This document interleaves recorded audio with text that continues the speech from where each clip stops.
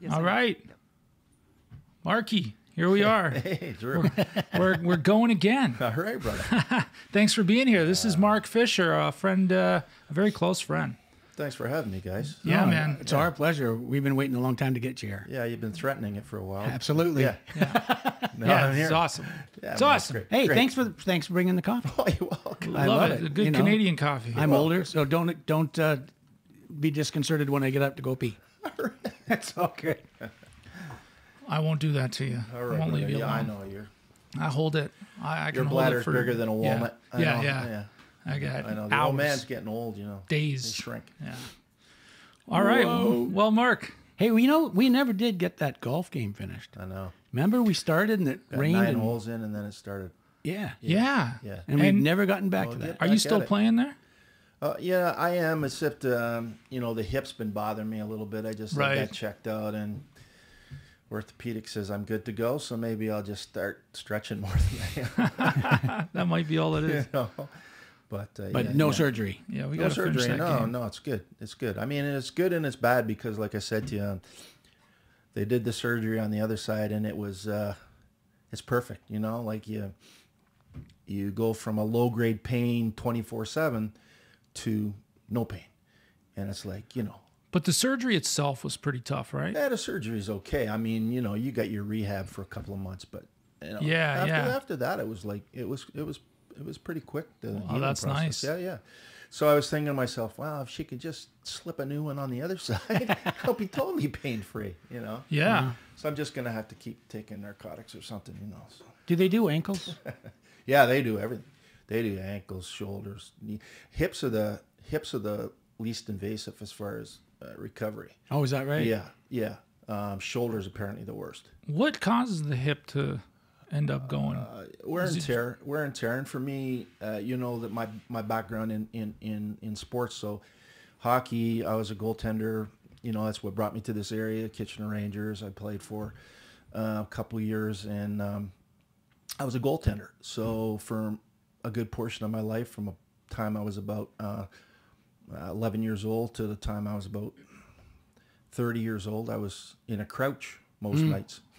And doing the splits. And Yeah, yeah, yeah. It's not so much the splits; it's the it's the steady crouch. All the wear and tear on my hip was at the front of the socket, so I was bone on bone at the front. The backs were perfectly normal, but that's from being in the crouch. Matter of fact, the orthopedic said to me, "Uh, "Were you a back catcher or were you a hockey goaltender?" No, No kidding. way. Yeah, I was blown away. I said, "That's that's crazy." I said, "I, I was a goaltender."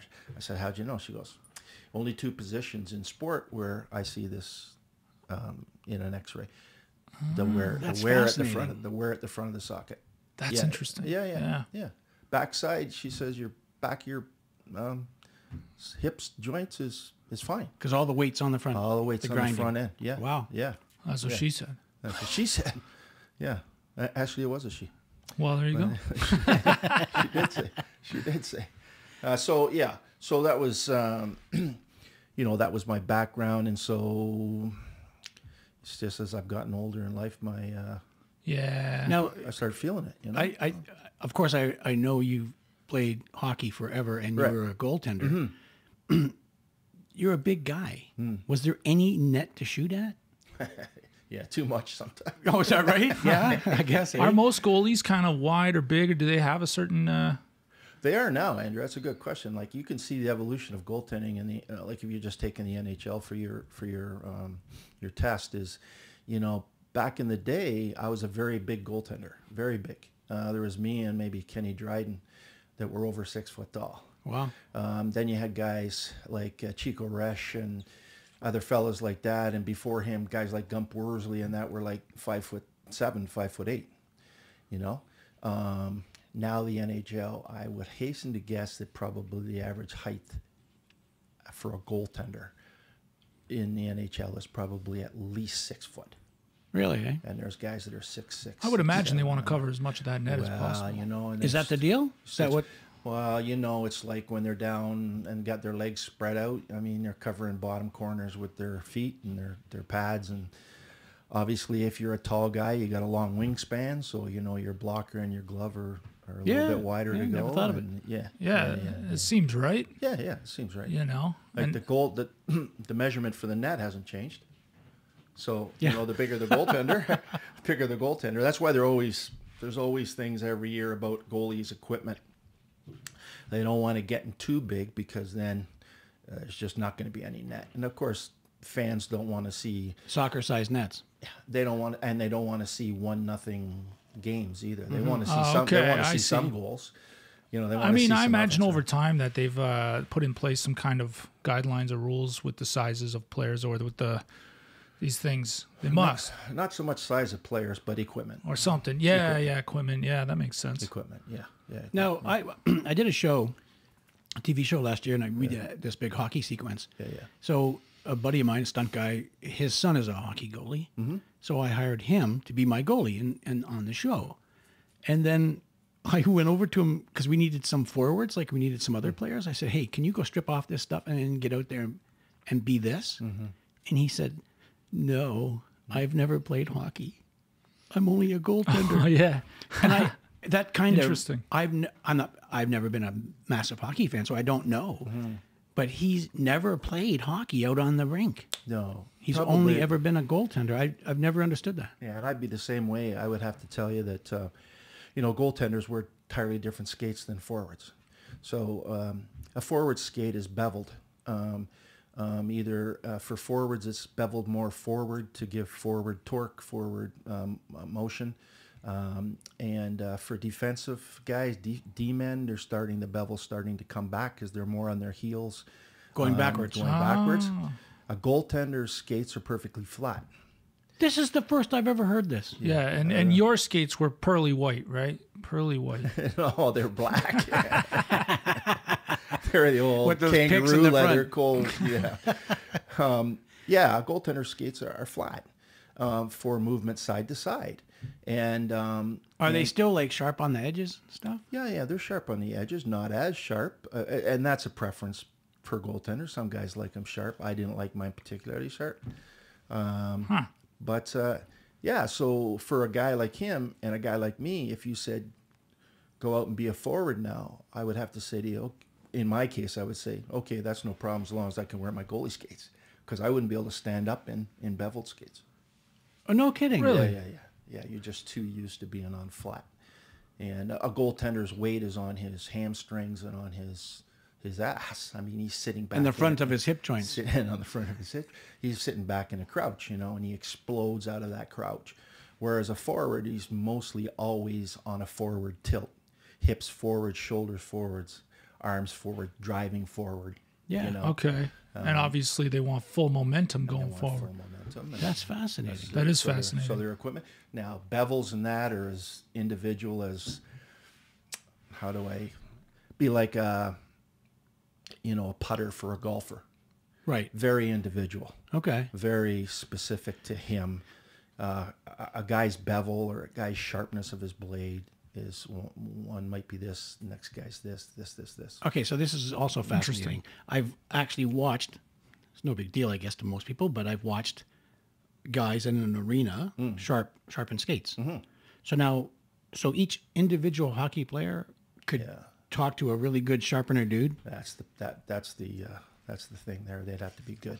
I mean, NHL guys, that's their liv- livelihood. Right. Be like you in the stunt business. I Right. mean, you're You gonna a be piece you're of gonna, equipment. You're, you're going to be looking at your ropes and things like this for any kind of Yeah, 100%. 100 percent all Yeah, the time. nothing used, nothing. Yeah, yeah, exactly, yeah, yeah. exactly, Drew. Um, you know, for for for an NHL player, he's probably got a trainer or an equipment guy on that team that does his skates and nobody else touches them. You know, he's they've got it down. You know. Oh, very, very Yeah. cool. Tool of the trade, man. Yeah, man, Yeah, that's- and, that's it's- their and when you're making some decent dough, and, Yeah. you know, making a hell of a living. Yeah. You know, why would you hiccup on anything like that? Well, When I a guy- guess when a guy's b- blade breaks, you see him limp to the thing. Well, they go and get him another blade, but it's his blade. He, Right. He's got blades that are pre-sharpened in a slot with his number on it, and they just pop the new blade in. Well, in the old days, you didn't have replaceable blades. That was you my next question because I've never heard of that either. You didn't have replaceable so blades. give me my was- sneaker. So you can leave your skate on and pop a blade off and put another blade on? Absolutely, yeah. They're, wow. They're, yeah, they're in holders, right? That's like race car tires. Yeah, but in my day, Yeah. you couldn't do that. If a guy busted a blade, You just change your skates. he skates. was done. He had to change his skates and get them sharpened um, to the way he wanted him if he didn't have an extra pair ready to go. Right. And in junior, a lot of guys didn't have extra pairs to go. They're they were finished. They couldn't put on another guy's skate because they wouldn't be able to skate in his belt. That's fascinating. Right. So yeah, I just got called uh, uh, a couple months ago to do the Börje Salming story. right. Uh, be- it's a co-production between Sweden and Canada, Yeah. and then I just found out two days ago I didn't. They went to, with somebody else. Oh fuck. Yeah. I was really looking Fuck forward to it, but yeah. Well, it's gonna suck now. I just I just finished um, writing a, a book. Uh, my I guess it's my memoirs, uh, my life in, in sports. But um, when I get to the hockey part of it, it, it's interesting for me where hockey led me. It didn't um, necessarily lead me to millions of dollars in an NHL career that spanned years or anything. You know, I had a cup of coffee there, but um, what it did lead to me to was. You know, one day I found myself after university was done looking for a job, you know, Yeah. and I found myself in uh, police headquarters, um, big city police headquarters, and um, at their uh, human resources asking for a um, an application. Oh yeah. And so, you know, I'm filling out this application, and uh, they're saying to me, "Well, you know, you can, by all means fill it out. We're taking applications, but I got to tell you, there's hundreds and hundreds ahead of you. You know, so, you know, you got to have something that they're interested in. Right. Some things are, well, what, what are they interested in? Well, hopefully my education, I'm thinking, because, you know, I got a degree from the University of Toronto, right? Um, no, it's a degree, it's a Bachelor of Arts, but back then, there wasn't a whole lot of guys with BAs even. I mean, it was a big deal went to university, right? Yeah. And finished. Yeah. and so I had that. So I'm thinking, well, hopefully that's good enough, you know. But then I get down to the part um, on the application where it says um, sports, activities, hobbies, uh, list, and any awards.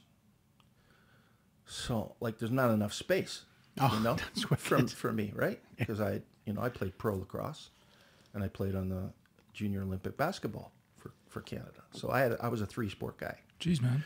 So, so, you know, it gets there. So I'm start listening. So I write down Kitchener Rangers, um, goaltender, the years that I played, Los Angeles training camp, the years that year I was there.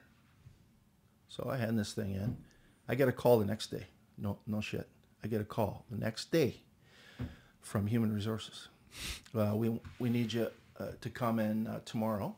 Wear a shirt and tie, please and um, and do a um, do an Interview. do an interview. I said, okay, that's that's. I'm thinking there was hundreds ahead of me. Know, must be must be my, my, my degree his, were- must be my history degree. Or they were busy all night long. must be my history degree. so so I I get there, and I'm sitting in front of um, a superintendent, a deputy inspector, and the deputy chief of police. So I'm nervous. I'm sitting there across the table from them, and they they the, the deputy chief is doing the questions. Well, if you're hiring somebody to carry a gun and police the streets, you might want to do talk about background. You might want to talk about family background. Not that you're not going to do your own investigation, but you might want to talk about those things. You might want to talk about, you know, Get a you- feel for do- the guy. Yeah. Do you do drugs? Do you drink? Do you smoke? Do you, do you, you know, like, like who are you? You know. So, but they sit down there and it says, this the deputy chief says to me, uh, it says here on your application that you um, you played golf for the Kitchener Rangers. And I said, yes, sir. He says, uh, well, we have a we have a police uh, hockey team here, and it plays every year in the international police uh, tournament, which is a big deal. Like you got to understand, this is like the Stanley Cup finals for policing in Canada and northern United States. Like they come from all over to play in this tournament, and it's different locations across Canada every year. Anyway, so we have a team that plays in this in, every year. If you were a member of this police force, uh, would you play for that team? I said yes, yes, sir. Welcome Yeah. aboard. Yes, sir. He goes. He goes. The chief. The chief here coaches the team. Wicked. I said, yes, sir. He says, okay, well, welcome aboard. That's amazing. Yeah. welcome aboard. You've got you, you got to go get fitted for uniforms and stuff this afternoon. So there's hundreds behind you. Hundreds, apparently. but They're back there. but so so looking back on it, I mean, uh, I m- might not have ended up with a, a hockey career in the NHL, but it certainly got me a, a career. Yeah. You know, that, because that was definitely Oh, definitely that's what it, brilliant. definitely what it was. and you know. obviously That's you a movie wanted to Mm. like you, what what brought you to the cop shop in the first place? Well, my my my brother and my sister are both cops. Ah, Yeah. okay. So you know, um, over the dinner table. Well, my sister had moved away by this time, but heard a lot of cop stories from my brother. Now he was just a cadet at the time, so he he wasn't on patrol or carrying a gun or anything. But he'd been there since he was eighteen. Um, it kind of fit up my alley, being an athlete and you know being kind of a I don't know, man's man. You know how you Yeah. viewed kind of policing. That's how I've always viewed you. fire. Thank you. Yeah. Firefighters and that. You know, you kind of kind of drawn to that kind of work. Right. But I didn't know what I was getting into certainly. But I mean, uh, yeah, I was hired like boom, right then, like welcome aboard, like you said. And the only three questions they asked me was about hockey. That's fascinating. Yeah, That's but they didn't have a goaltender. Yeah. No, but see, this Right. Well, clearly. So they went from having no goaltender to a guy that played major junior A in that and some NHL. So oh, it begs the question: How did the tournament turn out? Um, we didn't win it, but we were in the final. Yeah. Yeah. So I they mean- were pleased with oh, their yeah, choice. I mean, that's yeah, that would you know that's that's huge for, and they carry that. You know, it's in a trophy case there and all the rest of the. Love it. Yeah, it's uh, you know, of course, when you get the chief, there's big eagles involved too, right?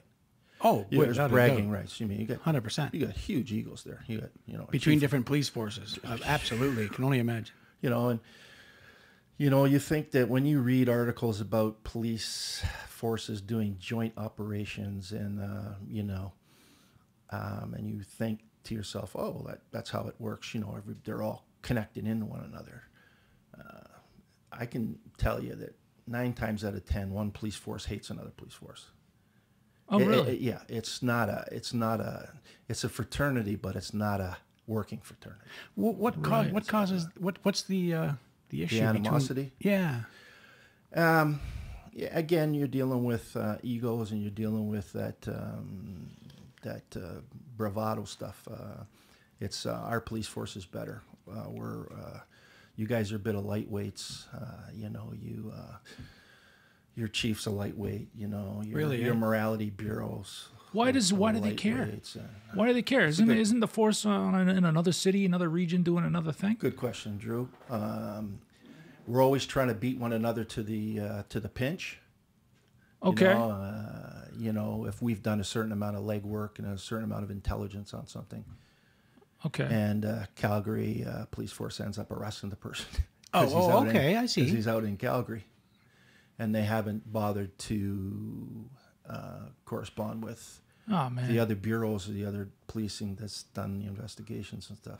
So there's like, it, it gets very competitive. It's And- actually and- quite and- petty. It is petty. yeah. And but but it, then it's it, it's propounded, then it's then it's accentuated with things like international police tournament where you're out on ice beating each other's heads in, hating one another Fascinating. to try and win a trophy, you know. Unbelievable, man. And you know, you know, you look at your partner, the guy that works with you on the streets, as the guy that's got your back always. Not so much this guy from Buffalo, or, Yeah. or this guy from you know Yeah. Wherever, Yeah, yeah, true. totally. wherever. He could fucking care less about you, really, when it comes to that. Okay, so now, okay, so they brought you on because you're a goalie, let's say. Mm-hmm. Then they put you in that uniform you tried on. Um, then you went out into onto the street. Yeah. So did you have hockey practice? Is that what? Oh. That how that worked? Like, you went out on the street as a cop, and then you. Well, I still had to go to um, I still had to go to Aylmer. I still had to go to police academy, and I had to do 15 weeks of, of training out there. I saw the movie. I know exactly what goes on. Yeah. Uh, so, so you you you know you do your 15 weeks out there, and that's learning all the acts and learning you know writing exams and doing you know weapons training and, and tactical training and stuff like this. Then you come back to your force and they put you with a training officer and you ride with your training officer for X amount of weeks until he says, yeah, this guy's ready to go on his own. And uh, What happens if he's not ready to go on his own? Yeah, Has that ever? Does that happen? very few happens? Yeah, even though, Okay, even so no one steps up and said this guy sucks Even- at this. I think they Well- know, right? They they use their intuition to understand and something that they they've known for a long time. And I got to tell you, you know, later on, um, you know, as a training officer myself at one point, I could say, listen, I, they're not really strong uh, here, or they're not really strong there. Um, they should be, you know, they should continue their training. But they could be placed somewhere where their strengths But lie. they're, but they're not. They're Oh, kicked they're out not. on the road. They need policemen out on the road. That's a money thing. Okay. Yeah, it's just. Uh, I think I will met a few of those. Yeah, will he will will, will he kill somebody? Uh, Oh. No, he's not that. Like he's not like, you know, guns when we get guns. But he's just like weak on the highway traffic actor. He's weak on, you know, he's weak on the. Um, How to speak to yeah, people or yeah, like he's his communication skills are bad, or or or his his street smarts are really weak, or something. They don't care. It, you know, he's done his training. Yes, we're, we're, I'm finished with him, but I am suggesting that he does more, or she does more. Okay, well, thank you. Yeah. I had a friend that told me about a copper that he works with that that uh, was so afraid of confrontation Yeah, um, that when anything ever went down, like in a bar fight or anything like Yeah. that, or somebody was called, yeah, he was always busy. yeah, yeah, yeah. He wouldn't come to those calls, Oh yeah, yeah. and they and everybody knows Oh, that he's eh, just sitting in his cruiser. Oh, they're picked out quick with the guys on the street. They're picked out. Yeah, quick. I got some cop buddies who who say that they don't uh, like they're the first to show up to every scene because there are cops that just don't want to be first. Oh, absolutely, buddy. You know. Absolutely. Fascinating. I mean, a lot of guys, I shouldn't say a lot of guys, but some guys would say, well, let's let the ambulance get there first, you know. Wow. You know, let's Let's put get them let's in, get uh, let's get the fire guys there and and uh, and uh, ambulance there, and then we'll, we'll you know the guy that's done this that, that the perp he's long gone. So why do we have to get there first? Okay, so this is funny because we we had Les in a firefighter, Mm-hmm. and he said that oftentimes he was there way ahead of the cops. Oh, and now yeah, we know yeah. why. Yeah, yeah, no shit. Absolutely, absolutely, and and police uh, sirens are different than fire sirens, which are different than ambulance sirens, and you get to know the different sirens real quick. You know, as a cop, you say, okay, ambulance is close. Okay, so we can circle one more time. Oh my god.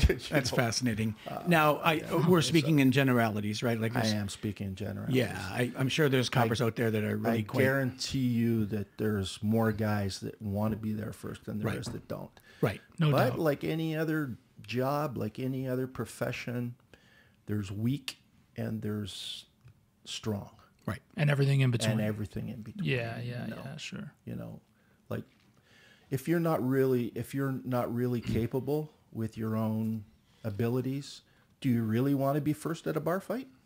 Mm. Yeah. You know? Rightly so. You know, if you're a, if you're a PW, a female officer that's been uh, that's happens to be in that location, patrolling in that location, do you really does she really want to be the first at a bar scene? She weighs 120 pounds soaking wet. Yeah. You know, uh, No our- slight, no our- slight on PWs, no but slight on PWs. There's guys the same way. hundred There's percent. guys the same way. You know, Yeah. guys that weigh 150 pounds, 160 pounds couldn't fight their way out of a wet paper bag, and you know that is not their strength. Right. However, if I was dealing with a with a case where uh, children were involved or something, they're very strong. I would I would actually ask dispatch to send me that car. Right. Okay, uh, You know what I mean? Like, so there's strength and weaknesses out there, but you know, policing. It's very important that you know how to uh, physically handle yourself, because chances are, eight times out of ten, during your shift, you're going to get a physical type call. Now, the person might not be there, but they still could be there. You know, so if you're a little bit shy about that stuff, um, you might wait till fire shows up or the other unit gets there Yeah. first. You know, lots of times I've seen guys driving the other way. Fascinating. Yeah, yeah, yeah, yeah. Lots It's very interesting. Yeah, it's um, it's a, a thing that most people don't, you know, like I think I told you guys before when we were talking over a beer one time, you know, I said it's like um, if if if the general population knew, I mean, they're cozy in their beds at night, Right. sleeping, knowing that, you know, the police are uh, nine one one away. You know, fairly Sure, fairly sure. fairly quickly, probably nine one one. Hopefully, yeah. hopefully, hopefully. Um, but if you were actually out on the streets with the cops and you're actually seeing the law being being made, um, you would be shocked. You would be shocked. No matter, like I said, that saying that we have. Yeah, right? what is You that know, saying? That, that, uh, you know, people that respect the law and like sausages should see neither one being made. Ah, yeah. You know. I remember you saying that. Yeah, that's a good one. It's It a good, good. sausage. You know, It's a uh, good sausage. You would It's a never, good you would never eat another sausage. No, You I, what now, they now you're in 'em, making me hungry. you I have coffee and I need a sausage. You know. Yeah. but you know, you, you, you know, it's it's like kind of like uh, walk a shift in my shoes and see what see what you think about being a quarterback or being about you know an armchair quarterback with this call. You know, 100%. uh, you could be sipping on a coffee like we're doing right now, and next thing you know, you're being dispatched to gunshots. You know, uh, shots fired or somebody's or or, or or officer down. You know, and you have to be able to ramp that up so quick. You know, ramp it up so quick. But that goes back to what we talked about in another podcast, the silent stress. Yeah. That yeah. you know, you guys, you sit there, and when that bell goes off, what's at the end of that bell isn't good.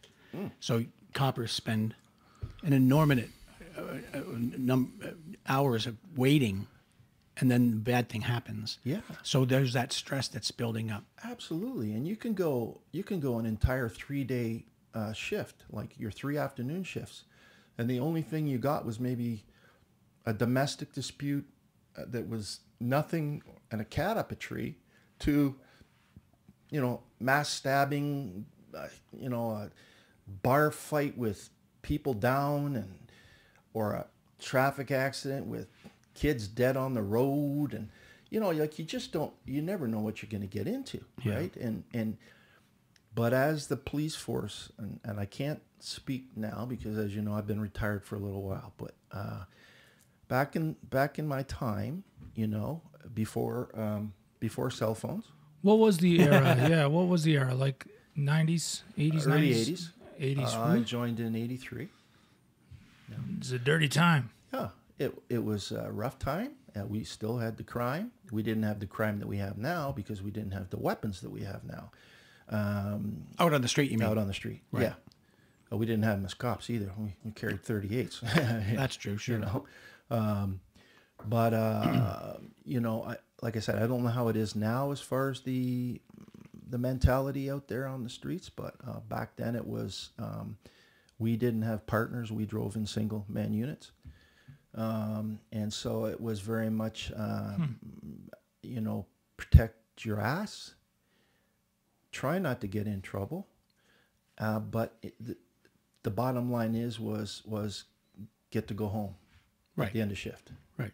know. Oh, that makes absolute Yeah, sense. yeah, and so and let the fire guys get there first. and let the ambulance get there first. Sorry, I love that. I can't believe that.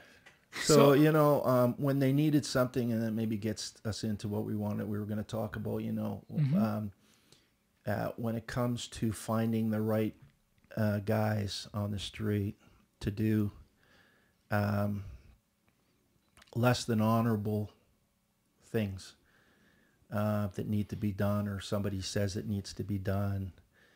Um, there's that weeding out process of how was he as a patrolman? Was he what they call a solid? Was he a solid? Um, was he a good cop? And when they when they meant good back in those days, they meant um, look the other way. Would he would he um, was he a character that would change his notes to make it okay for another cop? Team know, team player. what, what was he a team player? You know, bottom line. Um, and if he if he if he checked off all of those squares, um, and he was one of the boys, um, then he might uh, he might get recruited to do other things with with a you know a nice big carrot dangled in front of his face, you know, to make sure that once he's on board, he's on board, you know. Right. So, you know, so they they they they weed these things out, and there's not a police force that that, that that's in existence that doesn't have history as far as less than honorable ways of solving or getting the job done. I guarantee you that. I guarantee you that. But as a civilian, Because yeah, uh, I'm a law-abiding civilian. Um, I have to kind of agree with that. Um, you know, they say that you don't fight fire with fire, but if you've ever seen a forest fire or a grass fire, they absolutely do. they absolutely do. They, They burn, burn cut, it out. cut a break and burn it out. The um, so yeah, you know what I mean. I mean, maybe uh, there's exceptions or there's, uh, you know, I don't know. You know, you tell me, I guess. Um, what happened? Where did it start? I think, I think the perception. I think the perception has changed as time's gone by because I think there's intelligent people like are sitting around this table that have to say to themselves, "Well, how do they get these things done? If it's all by the book, how does it? How do they solve all these things if everything is by the book? You know, because in my line of work, if I followed the book to a T, you know, we'd still be there shooting the movie or what, whatever. I mean, Yeah. there's you're not going to go against safety regulations or anything, but what I'm saying is We, there's we always exercise a little creativity. absolutely, absolutely. But when you're talking about creativity in the police force, you're talking creativity because you're dealing with things that require creativity. Right. We're dealing with Now we're not talking about a copper who beats somebody up because he's got an ego issue, um, and he's just police brutality type an issue. Am I correct? Like, this is a bad guy downtown, or he catches a guy down an alleyway and and he roughs him up a little bit. That's not what we're talking about, right? no, um, not now. Right. Not now. Back in the day, it was a way of getting things uh, done. Um, you know, but again, like I said to Drew, we're talking before cell phones. Uh, we didn't even have cameras in the uh, interview rooms. So, you know, you used to take a bad guy into an interview, you know, plunk him down in his chair across the table from you. The only thing in between you and him was a typewriter that got used sometimes. Um, and you'd say to him, you'd say People are now wondering what a typewriter is. yeah, yeah, yeah. And you'd say to him, yeah, you'd say to him, uh, you know, I understand you have information and you got a fairly pretty face. You're not leaving with both.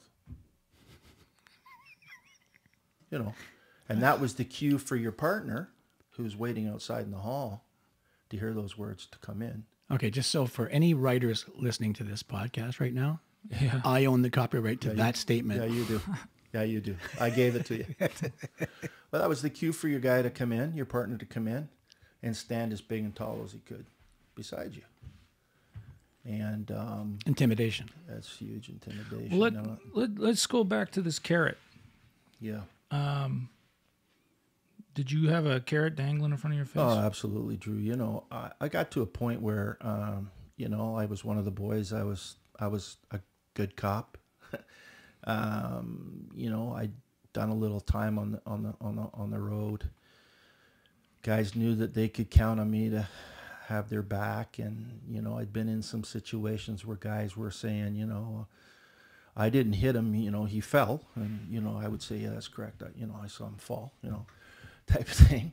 Um, and so I was, you know, I was one of the guys and um, there was a, there was a need for five guys to run a, uh, a particular um, operation, I want to say, to uh, rid a big city, uh, a city that was in its um, infancy, but is a big city now.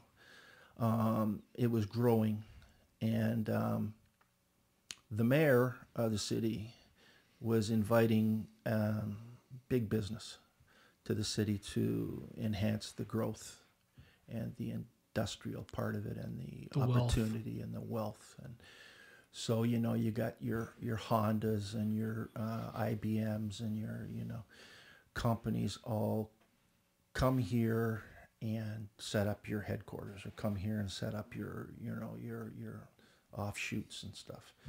Uh, this is what we have to offer you.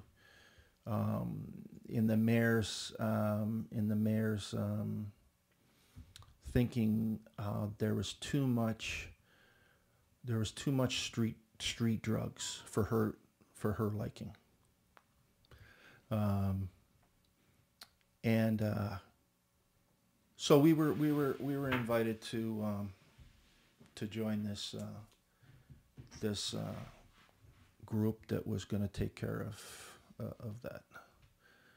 Was going to Okay. it was going to try and um, um, decrease the amount of street dealing and, and things like that in the streets by not making it very comfortable for And how did Those who they, were doing uh, it. those who are doing it. And, and when I say not comfortable, I mean taking it outside the courtroom.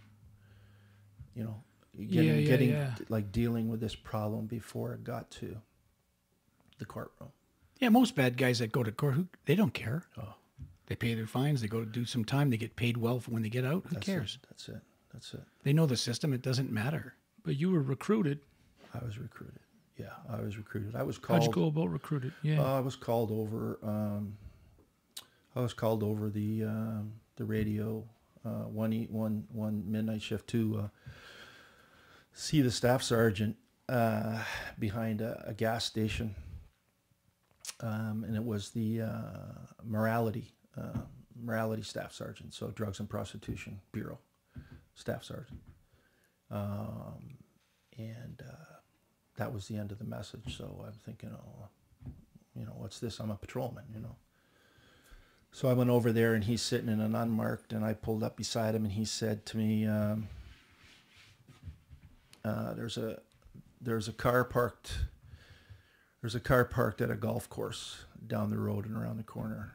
Um, and like I said, this is a midnight shift, so it's around two o'clock in the morning, three o'clock in the morning, somewhere in there. There's a car parked there, and um the guy that's driving that car, we need him arrested. Just like that, you know. I'm Thinking, oh, okay, you need him arrested. For what? You know, that's exactly what I said. I said, okay, what, what do we, what do we, what do we got him on? Well, that's up to you. That was, that was my test. Ah, That was my test. It's, it's up to you. You know, Fish, it's up to you. and So I'm thinking to myself, okay, so what does that mean? Does it mean if I say if I say no, does it mean I'm ostracized? If I say no, does it mean I'm not a good cop anymore? If I say no, does it mean I have no upward mobility within the police force like I'm going to be a patrolman my entire career? how old are you at this point? I'd be 30, Okay. wow. 30 ish. Yeah. Wife at home, you know. Yeah. Yeah, yeah. No, no kids yet, but um, wife at home, and so I I have to evaluate all of this in a very short period of time because he's Yeah, sit- yeah. he's sitting right car to car with me, okay, and um, I say okay, so you need you need him arrested, yep, okay. Um, can I ask why I you need him arrested? No, you can't.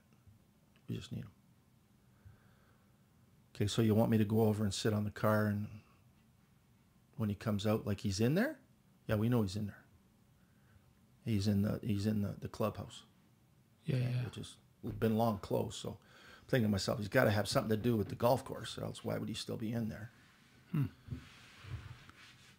So, you know, I don't know why. Because I, I I really did like it on the road. I mean, I was I was perfectly happy at that point in my career being a patrolman.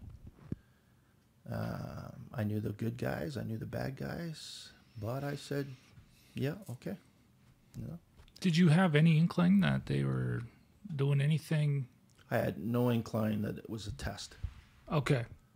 That was, it was strictly a test for me. Oh wow. that, that you're gonna that we're gonna ask you to do things if you pass they're gonna take that are gonna require you asking no questions that are gonna require you getting them done and getting them done efficiently. You're just thinking they have some kind of business, and uh, it is what it Thinking- is. thinking Uh, maybe the guy could be a major player.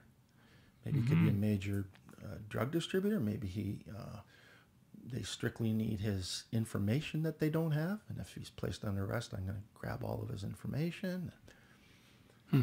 um, anyway you know without getting into that too hard uh, i went over sat on it and, and arrested him what'd you arrest him for? impaired driving Right. yeah And Yeah. And I and was mean, and was he? Had he been drinking?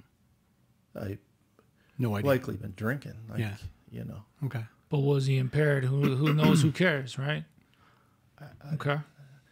I waited till he drove out of the parking lot and Pulled him over. put the put the lights on. Man. Okay. Well, So that led whether us he to was whether he was impaired enough to to be, um, uh, you know, um, carried through. Whether the arrest would be carried through, as in when he blew back at the station, it would come back with the numbers that would imply that he was going to be held and you know and charged. I didn't really care. Right. you know that's not what- that's not the it's not that's not the point in that in that even in, to this day that's not the point in, in impaired driving. It's up to the police officer to say that not only did i um, smell the odor or see blurred blur, uh, blurry eyes or bloodshot eyes but i also saw erratic driving. Um, you know, he crossed over the line twice before he pulled to the. And when he pulled over, he put his front tire in the ditch, or you know, you, you're, Sure. you're backing it up with other kind of things, right? Well, if you think about it, it's you. If it's if it's if it's one guy against another guy, and the one guy carries the law and the, all the all the ramifications. I mean, it's pretty easy to say that you saw him cross the line and with his vehicle, or that you saw him drive on the soft shoulder, or that you. he may personally think, well, I didn't even notice. I, I, I well, yeah, maybe I did. Have you been drinking? Yeah, I had a couple of drinks. Well, you know, Right. I think you're impaired. You know, Which justifies your uh, arresting him. my arrest. Right. Yeah, yeah, and then And you passed. I passed. So how was the how was this? You know, you passed, and and and and what are they now? What? Well, it was a case where they had to find um, they had to find four other guys because this detail included uh, and, and, and needed uh, f- five guys um, to work two shifts um, with a th- with a, the odd guy rotating in and out of pairs. Right. Um, so, yeah, I thought nothing of it after, uh, nothing more of it after I um, made the arrest. Um, I notified the staff sergeant involved that he was under arrest. Well, he heard me go off with the guy, and he heard me, you know, heading back to the station what with you the guy. had to So, do. yeah, He yeah. was on the radio. Yeah, I was Sure. on the radio, so he knew that that, that that I'd done it.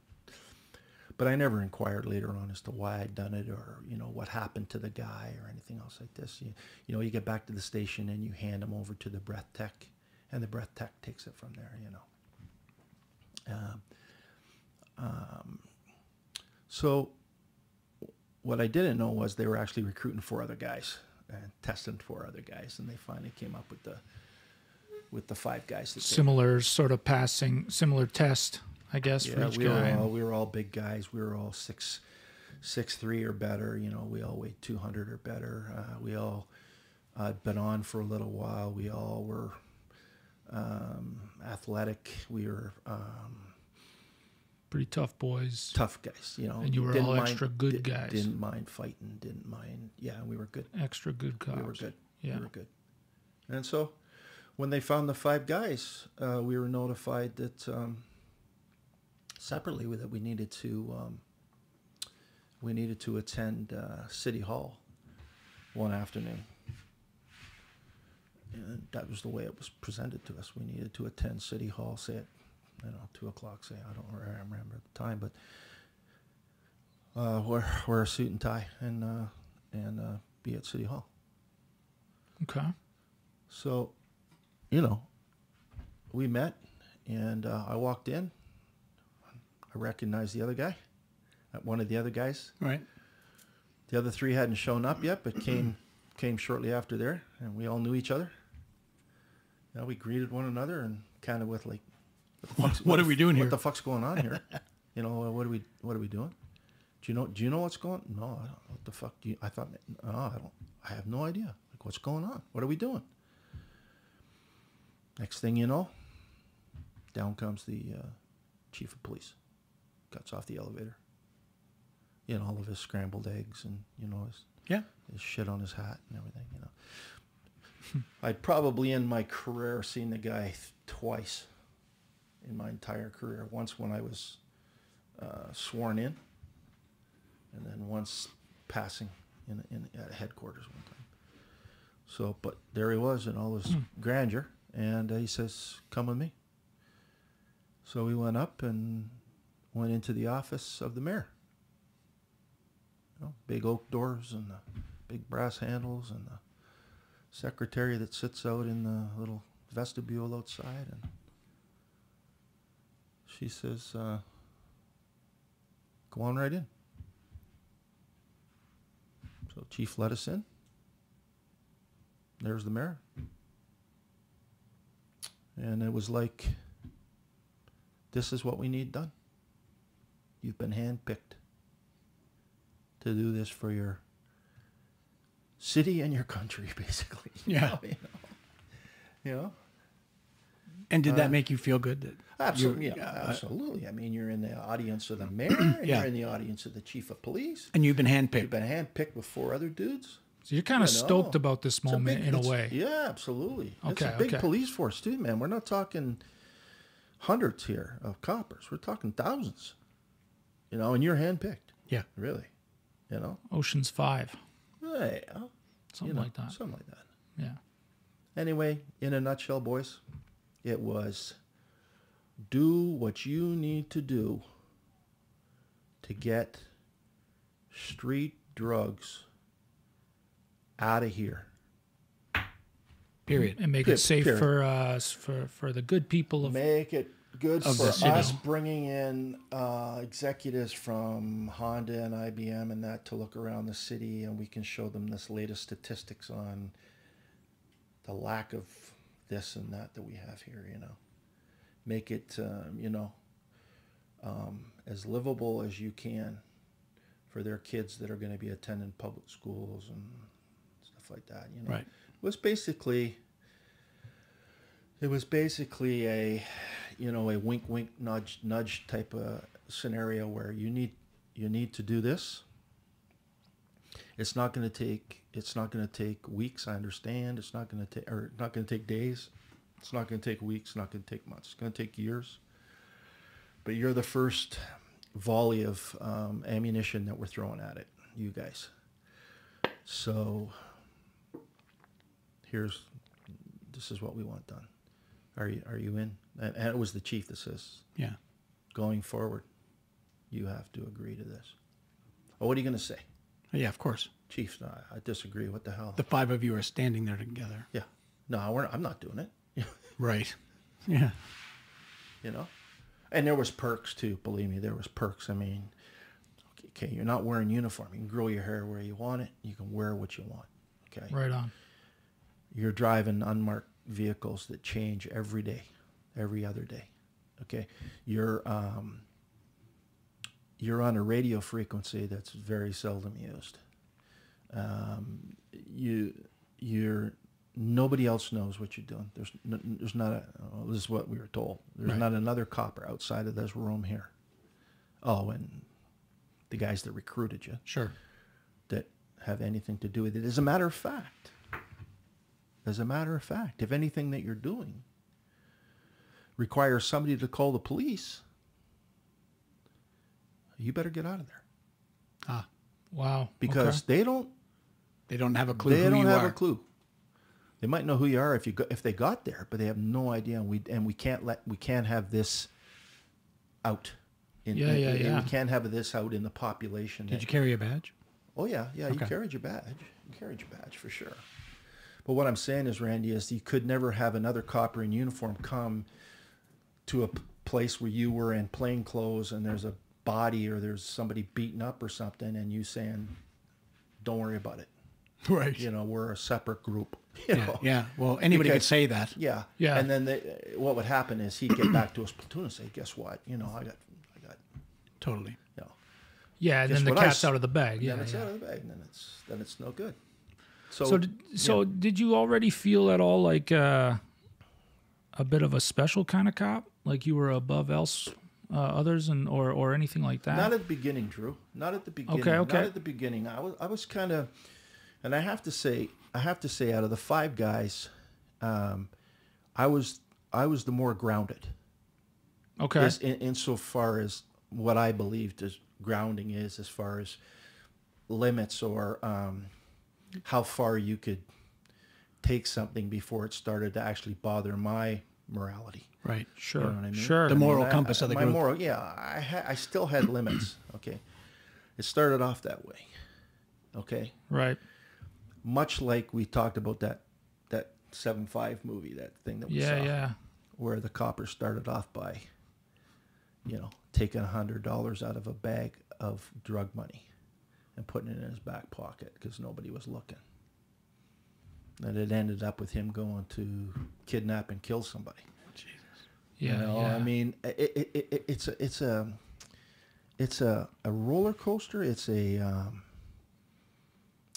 I don't. It's kind of like you, you kind of like feed off of the, the adrenaline, but more than that, you feed off of the, being untouchable. mm-hmm. You know, like most people don't understand what it what it would feel Power. like to be. Yeah, Be what it would feel like to be literally untouchable in this city. I got the mayor and the chief of police in my back pocket. I can do. Matter of fact, I've been told to do Right. Exactly. what needs to be done.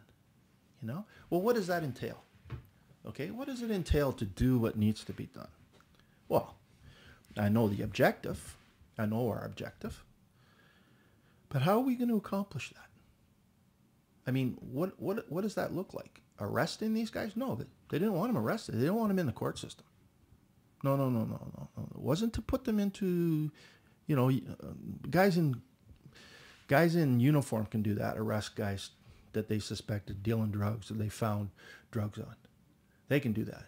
You guys are to make it very clear to them that they should not choose this city to be in.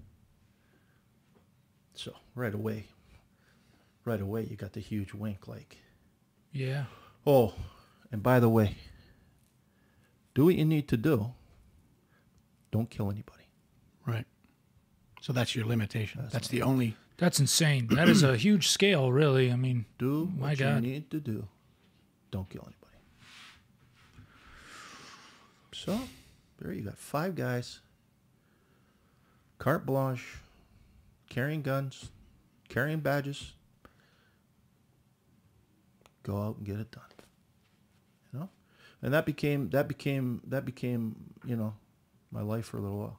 You know, and you watch the escalation of. Um, the way things are done to achieve the goal slowly start to spiral harder and harder and harder towards that line of morality and then cross over it you know then cross over it you know where you know and I, you know what I don't feel comfortable on saying what we did um, you know,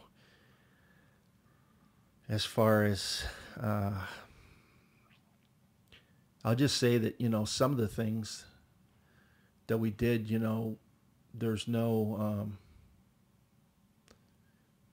there's no statute of limitation Yeah. on Yeah. on whether you can be charged now or for what you did 30, Right. 30 odd years ago. Right. And I'm not talking about murder. We never killed anybody. Right. Um, Took Okay. it pretty, took it pretty close though. Yeah, I can only imagine. Yeah, yeah, yeah, yeah. Fuck. yeah, yeah. And how long did you do this for? But we got it. We got it. We got it done to the um, to the uh, satisfaction of the powers that be, and then we were disbanded. I want to say, I want to say it expand. You know, and I know I told you when it was sharper in my mind, I wrote it all down and everything. Mm-hmm. Off the top of my head, I can't say exactly how long it lasted. Year, more than a year though. Right. Yeah. But I, I was going to say, like, you said you step over that line of morality to do sometimes what you had to do. But if you if you look at who you're dealing with, uh, their lack of morality Right. and giving kids crack or Yeah. But did you ever Fentanyl. feel? Did you ever feel like you were And really compared? And believe me, guys, that was the that was Same the level. that was the justification that you had in the back of your head while you were doing these things. You know, it's it's far easier to do something um, that's not uh, that's not within the law or within the rules. Um, and when you're telling yourself these people are bad, that you're doing it too. Much like the guy in the movie we said took the money from a drug dealer. So wasn't like taking it out of an old lady's purse. But did know? you now? Did but did you uh, or any of the guys you were with? I imagine perhaps abused the Oh. uh, so-called privilege. Oh, I mean, the mere fact that we were asked to do what we did was was was abusing the oath that we took to uphold the law. Yeah, I suppose right. that's true. I mean, I mean, they broke it by asking us to do what they wanted us to do. By any means necessary. We don't want the courts involved.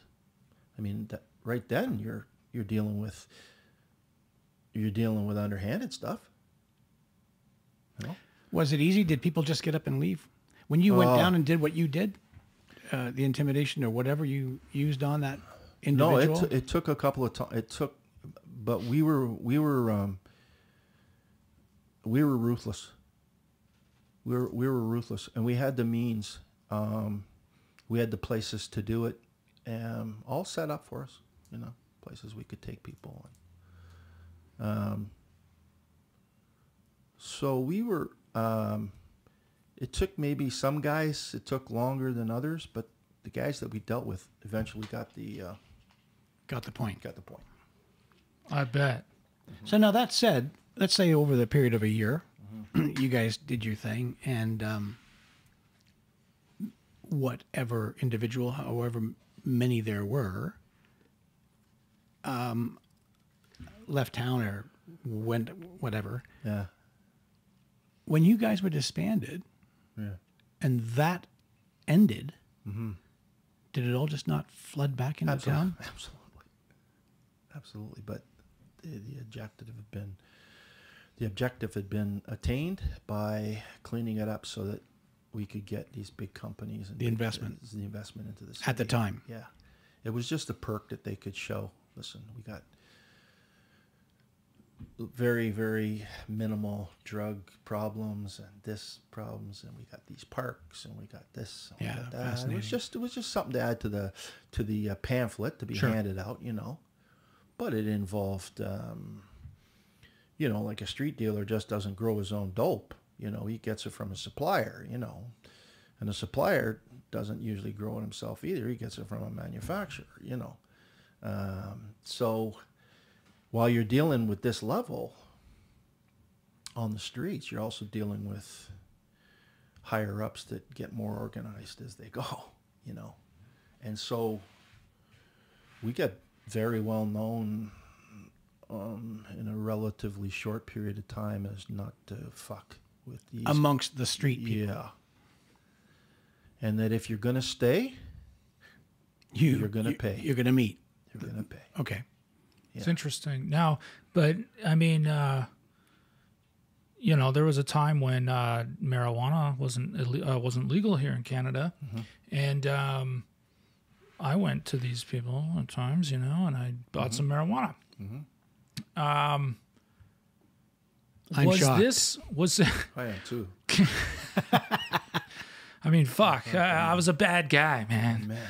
I was, you know, I'm surprised I didn't get locked up. Um, no, but uh, I imagine that, uh, like, was this what you were dealing with? Just, just guys like this, or like were they young and kids and just dumb, and or, or were they really, you know, you had that that uh, excuse in the back of your mind. You said, you know, but There was no, You know. there was no real set. If if what you're asking for is, are we looking for just uh, guys that are dealing crack versus guys that are dealing marijuana? yeah, like the damage that those drugs do. no, you know, no, no, it was drugs.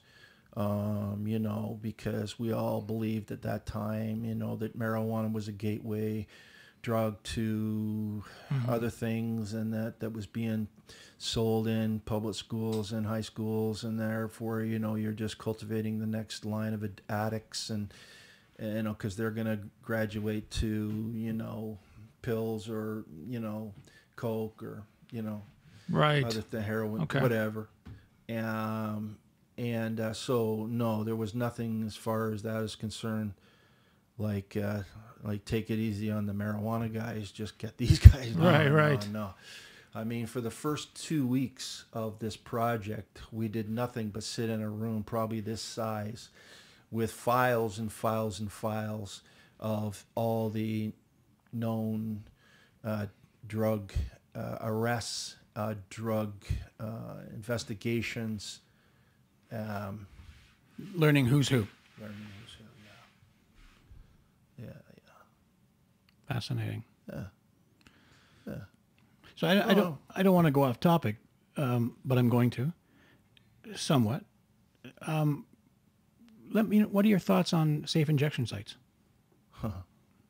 Don't like them, buddy. I don't like them. Okay, let's move on.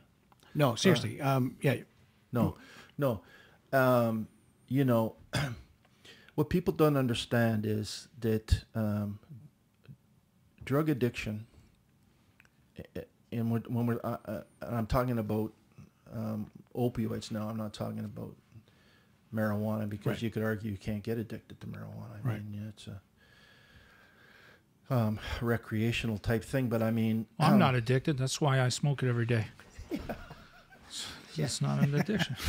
Okay, I'm shocked again. It's um, it's when you're talking about when you're talking about um, when you're talking about opioids, you're talking about powerful drugs, and you're talking about powerful um, addiction that comes with it, and um, you know, to give them a place to get safely high is not addressing the problem of why they're wanting to use these drugs to get high you know, it's a it's a mental things. They've mental problems. Um, they need help. I don't I don't argue that they're human beings and we should try and help them. But statistically, if you lined up ten addicts and you went down the row and you said to them, "I'm here to help you. I can put you in a. Uh, I can get you a place to live. I can get you a job. I can clean up your life." Do you know that you'd have one out of the ten say, "Please help me." The other nine tell you go fuck themselves. They're perfectly happy doing what they're doing. Do they know what they're doing though? Those nine? Well, I mean, I imagine they do. Not never being an addict myself, I, I, I, it's a good question, but I mean, there are some, there are some times in between being hopped up that you're halfway sober, and must look around and say, Well, you hope. you man, hope you, know, man, wandering to from one church to the other to feed and going and getting a bag of clothes of somebody that threw it in a gar- like it's just not a normal like life. you a lot of I mean? Like, people. I mean, if you're in a relationship with a really bad, or or with a girl that treats uh, treats your or your buddy's in a relationship with a girl Mm. treats uh, treats him like shit. You say to your buddy, dude, you got to get out of that. And he just doesn't believe it. He doesn't see it. He doesn't feel Mm-hmm. it the same way you do. I know, man. She's great. You know, she, whatever. Mm. Um, I imagine that in some degree, those nine of the ten kind of feel that way too. Not, well, I'm not addicted. I just, or something like that. I, I imagine if you're doing heroin every day or something, you you should have some understanding of what's going on in your life. But I, I've never been there. I don't know. You know. You know, Drew, if you're doing something like fentanyl, for instance, that can kill you by doing more than a grain of salt, you know, two grains kill you type of thing. You must know that you're playing with, you know, you're playing With Russian. Oh, roulette. yeah, you know yeah, what I mean? You must know that You this is know. fucked. You'd think this is know. not no. yeah. This is not stoking up a. This is not sparking up a, a joint. This is fucking. This is, you know, A hundred percent. You know. Oh yeah. it's the same. Uh, you know, like the difference between going into a drugstore and putting a Mars bar in your back pocket and walking out is a lot different than walking into a bank with a gun to, to take take money out. You know, Yeah, they're yeah. both thefts, that's but they're but Yeah, but they're the- different as night and day. that's a good point. Yeah. You know what I mean? Hmm. So, you know, I don't want to pass judgment on these people, but these politicians that think that by giving them a place to get high is going to solve the problem or some matter of fact, you know, the mayor of the city's had me in a couple of times and you know, you know exactly what you're dealing with when she sits you down and she says to you, "What's the solution to this opioid problem?" Well, that's like asking me, "What's the solution to alcoholism?" There is none. We tried. It was called prohibition. Right. It didn't work. Okay. That you, as long as human beings have, and we and we and we're proud of our our Western civilization here. We had the freedoms of to vote, the freedom of choice. We have the freedom of speech. But anytime you give a human being freedom of choice, you all know that there's going to be a certain amount that fucking make the wrong choices. That's the way we are. That's the creature that we're dealing with. Okay. Well, that's what these people have done. They've made bad choices. Not saying that they had the greatest environments to grow up in, or you know, they they weren't they weren't justified in maybe getting high every once in a while. But that is the life that they've chose. Once you start stepping over that boundary, um, then you're dealing with something. You're not dealing with solutions anymore. You're dealing with problems. And how do we how do we minimize the problem? Because you're not going to get rid of it. You are not going to get rid of it. But the guy that's paying the taxes, the guy that's paying for it all, you know, the yous and the me's that are putting tax bucks into this city, have had enough of oh, we're going to turn over this building is going to cost us a million dollars in taxes so they can go, go there and get high. right. I don't understand. I don't, I, don't- I don't understand. You know? How about the guy that's an alcoholic? Are we, we going to give him a place to get drunk free? What are we, what are we doing? Yeah, we should have free drunk driving lanes. Yeah. Yeah, I mean, Yeah, fr- yeah, I mean, free free beers downtown would be all right. Huh? Yeah. Well, there you go. It's a nice patio. yeah.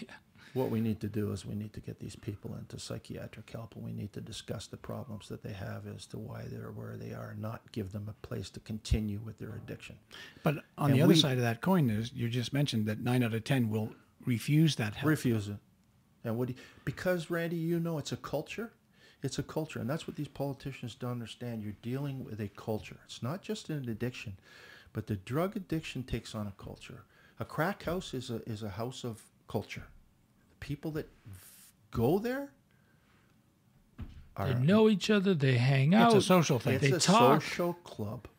Okay, It's like two alcoholics getting together, drink For whiskey together. for a beer. and That's I right. imagine that they look over at uh, you and me walking down the road and think they don't give a fuck. They don't. Yeah, You know, and uh, you know, and there's the what's the sense in them wanting to be part of our culture, right. right?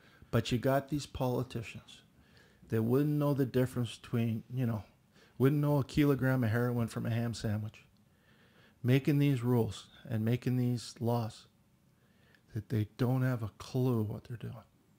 It's fascinating that our mayor has uh, we've locked this in now. The um, the safe injection site is going to be now three blocks from my home, um, and and the downtown core, the city puts all the money into creating that nice walkway for the evenings and the restaurants and the patios mm-hmm. for the average consumer.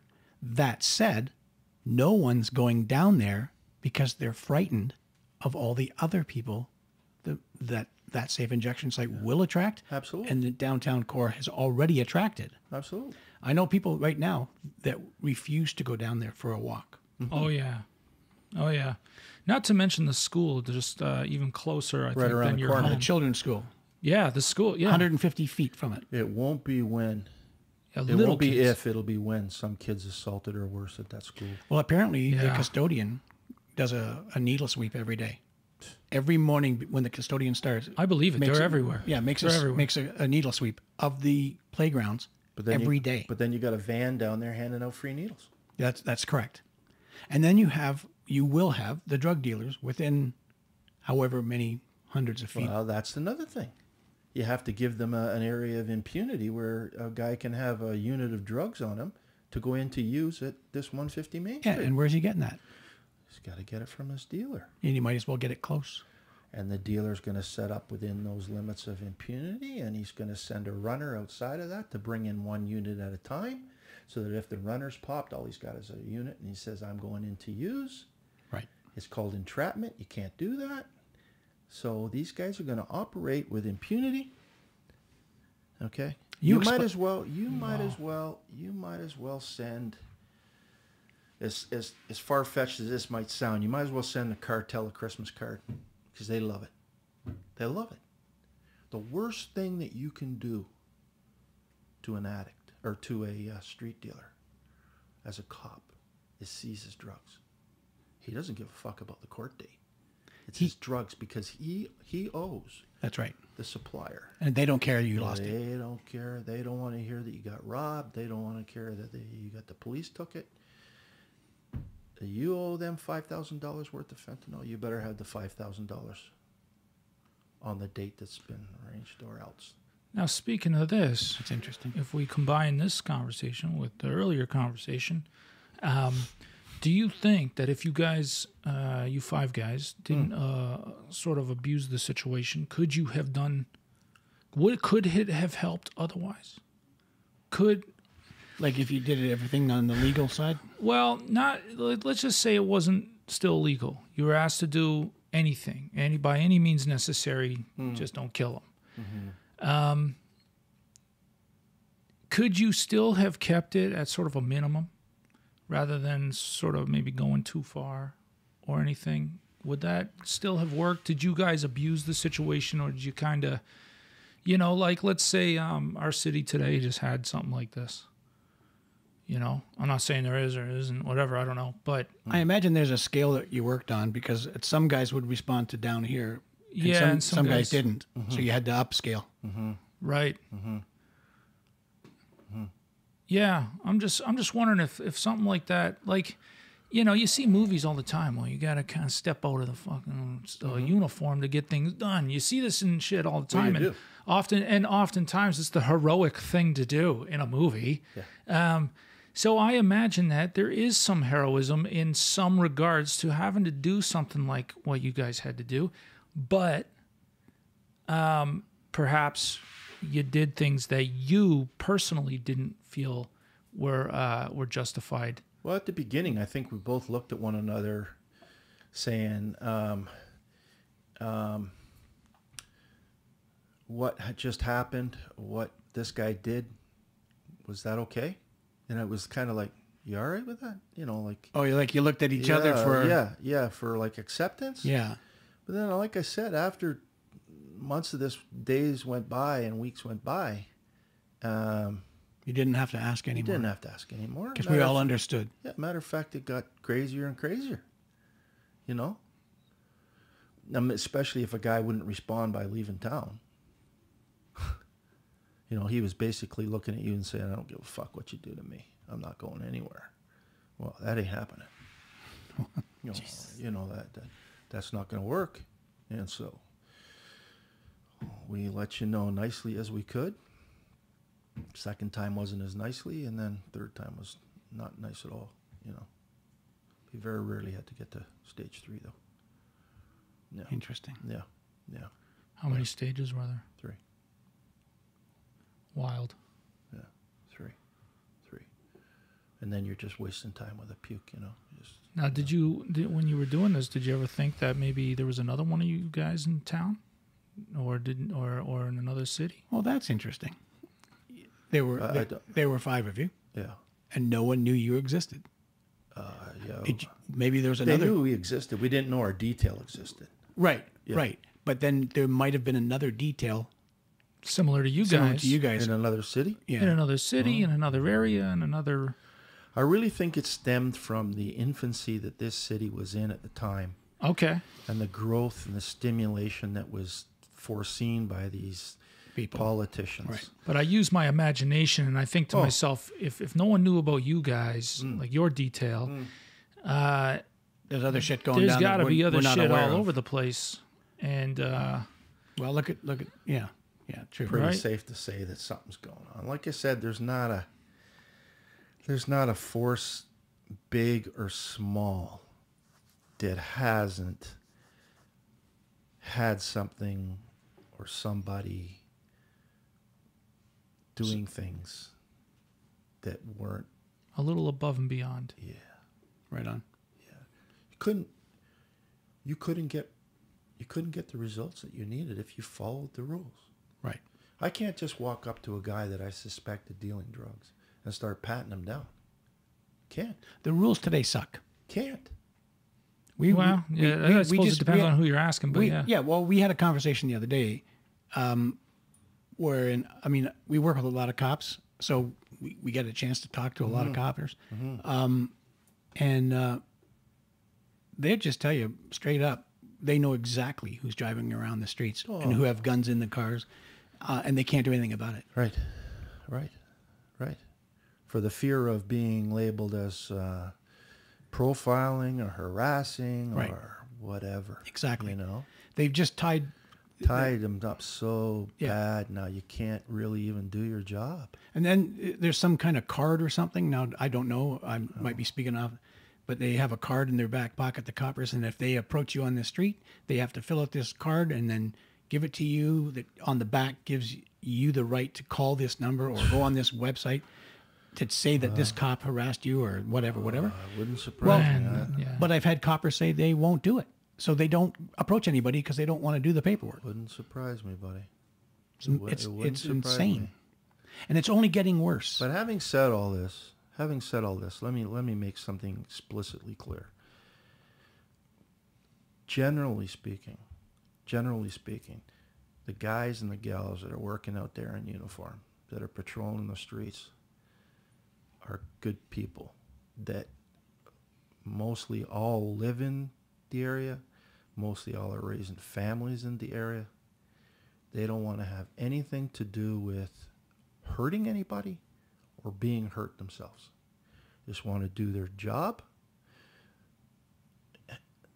And we all kind of join thinking that you're going to make a difference. You're not going to make one bit of fucking difference, okay? The only difference I ever made in my entire career were people that I helped. Ah, Were people that I helped. interesting. Find somebody, Mhm. find a missing person, um, recover a lost wallet, or help find their car that they saved up for Yeah. got stolen. or Interesting. So when you look back a at kid's your- bike back to Yeah, them, you no, know. that's awesome. When you look at your career, do you do you are you happy with it or are you, you I uh, uh, no, no? no, because of because of the time of the things that we did, just outweighed in my mind the good all the good things I did, because it got stupid, it got stupid, and uh, and uh, so they're like little demons I deal with, you know. Um, uh, every once in a while, you know, I remind myself of um, of of really really good people that I met and helped, and you know that not everybody's a bad guy. You know, there's a lot of really good people out there. You know, um, and there's some really good people that have fallen on hard times, and if you're really compassionate and really really sincere about the job, you can really really help them because you're in a position where you have things at your fingertips at your disposal to be able to help them if you want to take the time to put a little time into it, you know. But when you get recruited to do a detail or you take it upon yourself to kind of enter that other side of the law, then it's very much a deflection of what you're hired to do and the oath that you took. and the way that you're supposed to be looked upon. And what you thought you were getting into in the and first what, you- and place. what you It's a complete left you know what you- turn. what you thought you were getting into to start with. That you can actually be recruited by people higher up to Yeah, and did you feel tricked? yeah yeah after but it was my own decision though drew that's the thing like bottom line is any one of us could have said no thanks Could you have? What would have happened if had that's you? but that's the question Yeah. Yeah. in there lies the question what would happen then Yeah. You're a, So you've been asked to do something, you said no. Now you're somebody that has that's privy to what's going on. What are we going to do with you now? Did you ever witness another cop be a quote unquote bad cop? You know, didn't do what we wanted you to do. Oh yeah, And what would happen to that cop? Nothing. Okay. No, you mean like would another cop turn him in? Turn him in, or would they ignore him, or would they leave him out of things? Uh, Oh, you mean somebody on- that didn't did, wasn't didn't a team comply. player? Yeah, it oh wasn't yeah, a team no, player. they were ostracized, man. Yeah, immediately. Yeah, yeah, yeah. Right. They were, you know, they were the brunt of jokes, and they were, uh, you know, you get dispatched someplace, and you know your backup would be this person, and the guy would come on the radio and say, uh, "Disregard my backup. I don't need backup," you know, or please send another unit, you know, and they would know that that was Copper's way of saying, "I don't want you here," you know. Um, You know, things that show up in their pigeonholes with their mail, you know. See, I know so, I know so many cops. Like like uh, Randy said moments ago, uh, we know a lot of cops. We work with a lot of cops, Yeah. And I'm really good friends with a few cops uh, that are very close to me. Yeah. and I love them, and they're like Yeah. they sound like and just, you know, I know them so well, and they're the, the best kind of people in the world. But I also know you. I don't. I didn't know you then, but I I know you now, and you're like one of the best kind of people. yeah, 100%. You I was know, going to say the same the- thing. But But- like, what what what happens? You know, I, I couldn't imagine that you were a bad guy back in the day, or that you were, Uh, or you know, yeah, and, and that's uh that's a you know that's a fair question. It's it's it's a good question. What happened to me? Uh, what happened to the other four guys? Um, you know, three of which are dead now. Uh, so there's only two of us left. okay. I hope that I hope it was natural cause or something. Yeah, yeah, yeah. Okay. Well, as far as I know. Yeah. yeah, yeah, yeah. Okay. Um, yeah, it's a it's a good question, Drew. Like, uh, what happened to me? Like, what happens to the person that?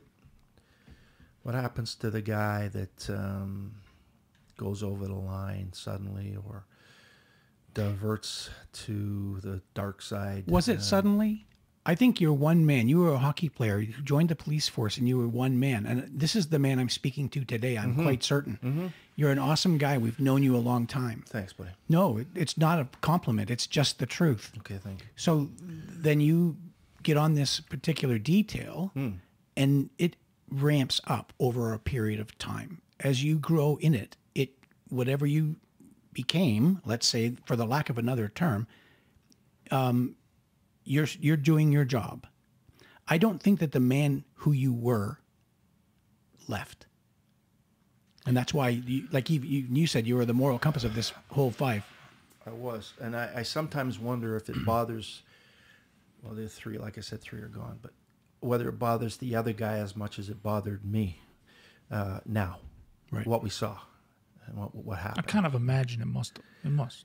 Uh, You'd have to be a, a pretty cold-hearted prick for not to not to bother you on, on occasion. It's like it's like you know, I can explicitly still still see that that my first um, little kid dead in a car in an accident. I can still see my first um, suicide victim.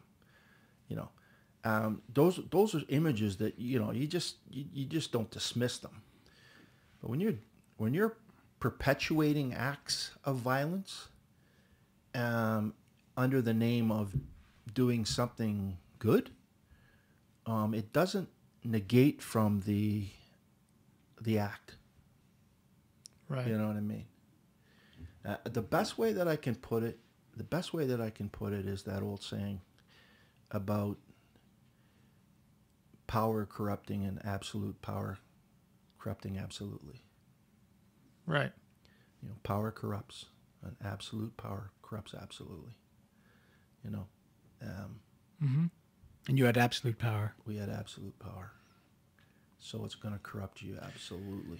Did you ever, ever get a run into other coppers while you in the midst of your doing your job? Yeah, we did once. We did once.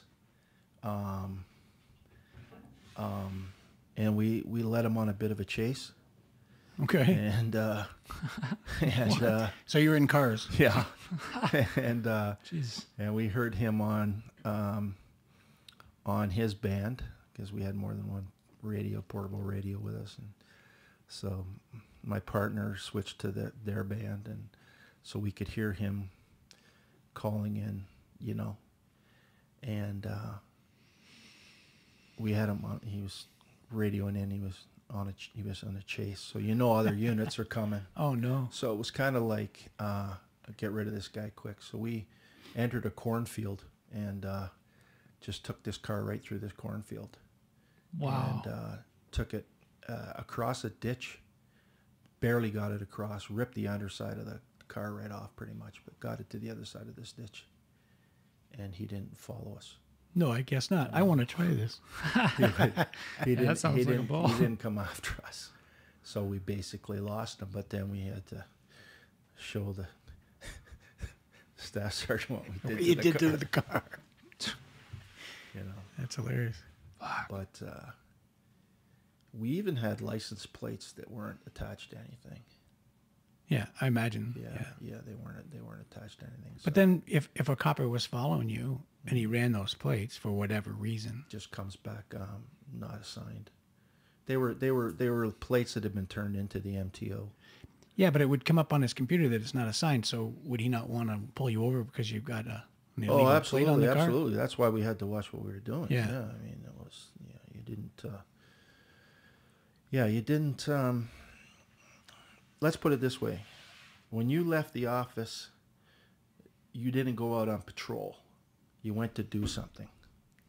You already had your, you already had your detail in mind. Okay. So you went from A to B. So there's no willy nilly out there. There's You- not driving around so other people can see you. You weren't Right. grabbing coffees and doing other No, shit. no, no, no, no, no, no, no. Because getting were a donut would give you away. we would have been hands down Yeah. gone. No, we you know we tried to remain as covert as we could Yeah. Within the realm of doing business with people on the street. Yeah. You know. Now there were some cops that I'm sure saw us shaking down people on the street, who recognized us as as cops, but just probably thought well, we were in Just doing a UC in deal in a bureau. Yeah. Now, were the people that were heading all this stuff, uh, giving you the mission or whatever, um, are they good people? I, I don't I don't know them outside of their job. Got yeah. it. Good question. I never, I never, I never. Yeah, it's a good question. I I, mean- never, I never. Uh, Like you said, you only saw this chief twice or three times in your entire career. Mm. Um, was it political for him? Do you know? Was it Oh, was, was it political? Was he making his way up the ranks Oh, and, sure. and he was seeing his own power and having his own fun? oh sure. Um, Yeah, absolutely. You know, Once you get to that rank, you're not a policeman anymore. You're a politician. Oh, I think Yeah. that's interesting. He's answering to the mayor, right? Yeah. Yeah, and to the Yeah. police bureau. Yeah. Bring this Bring into it you. back in Mike. sorry, yeah. It's all good. Yeah, he's acting. He's he's a politician. That's you know. Right. That's all there is to it. Matter of fact, the guys on the street can't relate usually to the chief of police at all. I mean, the farthest rank that a guy can probably relate to, still a patrolman, is probably your division inspector. Once you get up into superintendents and staff superintendents and then deputy chiefs and chiefs, they're just figureheads. You know, now are they on the same hockey team and all that? and they coached. really? Yeah. That's too funny. Yeah. But uh, I'm not saying they were bad guys. I mean, you could talk to them and stuff. Like, you know, if I saw them at the arena and I have a yuck, you know, Yeah. Sure. chief. I- I'm sure he's a yeah, good dad and a good husband and uh, Everybody just had the all job this to stuff. do. They just had a job to do. He, there's no doubt that they took direction from the city. Right. Of course. As you took direction from as them. I took direction, but there's no way that I can report to the mayor and have her give me directions on what to do in the field. It has to come from a commanding officer, right? Uh, Mm. you can't get any higher than chief or commanding officer, right? Could be argued that um, could be argued that um, somebody in between doesn't want to be associated with that kind of stuff, you know. But the chief of police, on the other hand, he's just acting on orders from the Sure. from the mayor. There's a lot of carrots going around. Oh, yeah, absolutely. It's big business. Like, oh, it's huge business. You know, No Well, one thinks the it, no one thinks of it that way. they say that you know, policing police are the biggest organized gang in the world. When you think about it, Yeah. every city, every town, every bureau, every township has. them. Yeah. I mean, now at the same Wow. time, They all wear same. They all wear uniforms. Big budgets. Big budgets. yeah. lot of- but I lot of mean, if money. you if you if your guy if your partner doesn't have your back and stuff like that, I mean, it wouldn't work anyway. Oh no, it's the same as the military. if you military. didn't have somewhat of a gang mentality or whatever, Same it wouldn't work. Same as the military, you would never get into a foxhole to, of a, to with a guy that wouldn't have your back. I mean, Right. Yeah. You know, there's no way I'm going on patrol with a guy that I know that is afraid. Absolutely. There's Oh my no way God. because I would re- I would refuse. I would go in, I would go into the staff sergeant and say, staff, I refuse to be partnered with him, and this is why. Now you can put me on the front desk if you want, or you can banish me to the wherever. Well, I'm not putting my life on the line with this guy. Is that usually respected?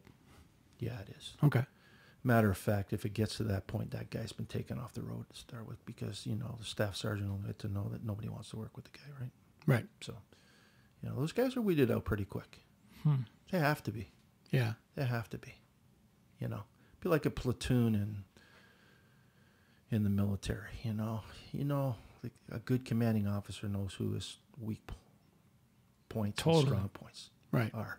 Has to, has to. Who do I send in this case? Who do I send in that case?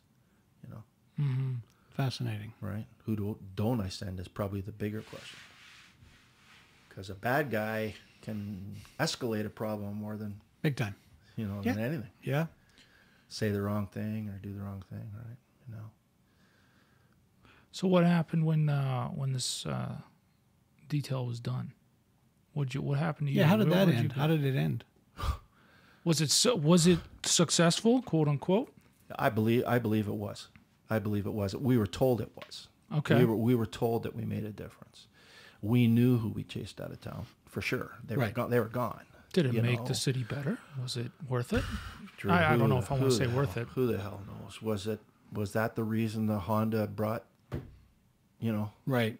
Mm-hmm. corporate headquarters to our town or to our city or this this office signed up or who knows all we know is we were we were assigned a duty we went out and did the duty to the best of our ability and uh and um if it helped it helped if Right. it didn't it wasn't because we didn't do what we were told Okay. So one day, you, one night, whatever, Mm-hmm. you guys are hot and heavy, and someone comes to tell you it's over. Yeah, we were just disbanded. We were disbanded by uh, by a email, by a um, not an email memo. Like immediately, like as of this moment, or is two weeks from now we're going to cut it down? Or End of the end of the week. Go cut End- your end of the week. your really? eh? put your uh, uniform on, get back to. is that really what happened? A couple of guys, um, a couple of guys made bureau. Um, a couple of guys went right into a bureau, and the other three guys, me included, went back out on the road, Okay, so I don't know what bureau means. like a detective bureau. Uh, Oh, I see. like Okay. a- Okay. Like a morality bureau or Right. young offenders or whatever. you Okay. know, Just another branch, bureau, sort of- yeah, branch, okay. And the other three guys, me included, uh, got booted back on the road, which for me was was fine. But then it was during that time that I got to ask myself, what what did I do that for? Yeah. Yeah, the decompression time. Did it like, change your game? Yeah. Yeah, made me a different person, you know. Made me a different person. Uh, yeah. I, I. Hmm. It's interesting because I still remember the first day that I put the uniform back on. Kind of felt like I'm not sure that I deserve to wear a Ah, uniform that stands for this when I just did, Did this. that. Right. You know, I mean, it didn't last with me long. I got to go on patrol. It's Yeah. not like I can stand around weeping in, Yeah. in the dressing room, but You went and got a coffee and it was over. you know, but it did it did dawn on me like, Yeah. well, you know, you know, this was uh, this was heavy, and this was um, the worst part about it is you couldn't say anything to anybody. Couldn't tell anybody. well, this right here is how most criminals get caught, right? They speak words because they can't help a, uh, they can't help holding it in. So I imagine it was a bit of a similar vibe on your part. Yeah, I mean, I never really, I never really was in fear of, you know, having any repercussions come back on me, uh, because you know that would involve having a, a victim to give evidence, and in most cases, those victims were all gone, Right. you know, and they wouldn't give evidence against you anyway. Right. you know. Did the did any of you five ever get together and chat about this after the fact? No, Really, eh? no, So once you guys were disbanded, guys went into the bureau, three guys went into cars. I'll be perfectly honest with you, Randy. Once we were disbanded, I didn't want anything to do with the other four guys. Copy. Yeah, yeah, I'd had enough. I had enough of them. Uh, one guy in particular, um, uh, because the nature of the beast is that some people will take things farther than others, and some things bother people more than they bother others.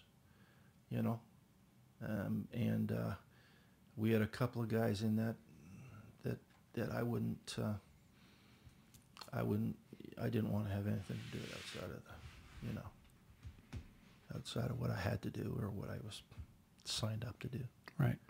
Well, looking back on it is, is, is like I said when we started this talk, it's, it's crazy. Like, why I even did it? Why I even did it? Like, uh, Did you ever receive the carrot they promised? Yeah. Okay. So hence the question why. It wasn't forthcoming and what? Because so I could prove that I was right. one of the guys. Right. maybe. I was, already, I was already, later. I was already there anyway. Yeah. But Yeah. if I'd have turned it down, I certainly wouldn't have been. And my life would have been a living hell. I know. How long how long were you a copper after the fact? After uh, the detail was disbanded?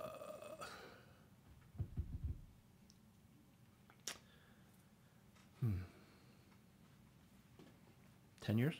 Oh, okay. A, a, a length of time. Mm-hmm. And how did that go? Went all right. Okay. Went all right. That's all I have to say about that, really. I mean, it didn't end the way I wanted it to, but Right. and I have some thoughts as to why that did. Um, and I always worried that at some point, me and the other guys were going to be liabilities. What if, what if, what if one of us said something? Right. Not about, not about one another. Right. What if we said something about the mayor? Right. What if I picked up a phone and got Yeah. an investigative reporter at the local rag and said, "I got a story for you." Yeah. Hundred percent. You know, I'm not going to be in uniform for my whole life, so I'm going to be retired at some point. But it doesn't inv- it doesn't involve my pension or anything by me telling you what happened. The only f- the only thing they had it over us, Randy, was that, like I said, statute of limitations, what you did to start with. Oh, is that right? You you did this, you know. Right. but you know something that something that I know that all five of us deal with, and uh, you know, just Yeah. for for a while. I'll be honest with you. For a while, uh, when I first got out of the police force, I looked over my shoulder. I really did. I wouldn't. Have, I wouldn't put anything above anybody. You know. Well, given the situation you were in. Yeah, you like know. I'm not, you know, I'm not here to sound uh, melodramatic or anything, but I'm, I'm just I don't know what people are capable of. Uh, less than uh, I, things I've I, I beg to differ. I think you are you are aware of what people are that's capable of, probably probably Well, and for- h- hence the looking over your shoulder. probably true. For all the conspiracy theorists out there, yeah, I mean, I'm this here to was tell a you. conspiracy. I'm here to tell you, man. Um, and I'm not trying to turn people like if they listen to this podcast, they're saying to themselves, "I knew that you know that they're no fucking good, and you know this guy that pulled me over was, pro." No, no, no, no, no. First of all, look at yourself, okay? First of all, take a take a reality check and look at yourself in the mirror. Why did I get pulled over? Why am I being investigated? Why am I being shaken down? Okay. If you got nothing going on, then maybe you can say, "How's he? How are, how are they acting with me? Are they professional?" Because I'll guarantee you that the cops that treat people uh, less than unprofessional, there's a reason why they're being treated less than unprofessional. Right. That makes sense. No cop is going to yeah. walk up to you or you and treat you unprofessionally. I've I I personally I I mean I've I've been Because- stopped in my vehicle uh, more times than Because you're going to say, I want to, because you you're going to say, yeah, but but, But I've never say- had right. I've had never had a, like problem. someone a cop come up Drag and you out of the some, car or- Yeah, I've never had a Yes, sir. yeah. Here's some are a little moodier than the others, but you know, Everybody has bad days, but I'm saying totally. my license, insurance, and registration, and yes, Right. sir, no, but sir. But I'm sure you know uh, other people, other types, Yeah. someone who's not like me. You Absolutely, know, they but may you know, deal with up to the different kinds cop. of crap. It's, up, it's up know? to the cop to determine at some point I got a good guy or I got a bad guy. When they're pulling Mm-hmm. you over, and they say I'm off with license ABC one two three. It doesn't come up on the dispatcher's computer that oh you got a bad guy.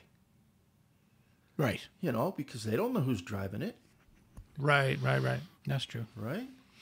It'll come up if it's stolen, and they'll tell you right away you're dealing with a stolen auto, and then you're going to handle it differently.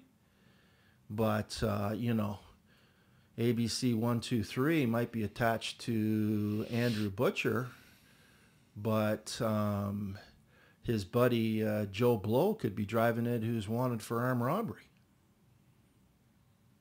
That Andrew Butcher doesn't know anything about. To just lent him his car to go pick up something. Like you don't know what you're dealing with. You really don't know what you're dealing with. It's a pretty scary job. That's a scary job, man.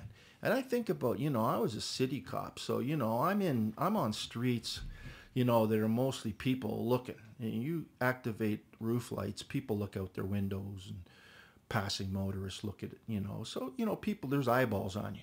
Yeah, man, I can't imagine these OPP guys out in the middle of, you know, Timmins or you know, pulling over a vehicle where it's just bush all the way around them in pitch black Oh and yeah. you're pulling some guy Yeah, over and you yeah. don't have a clue.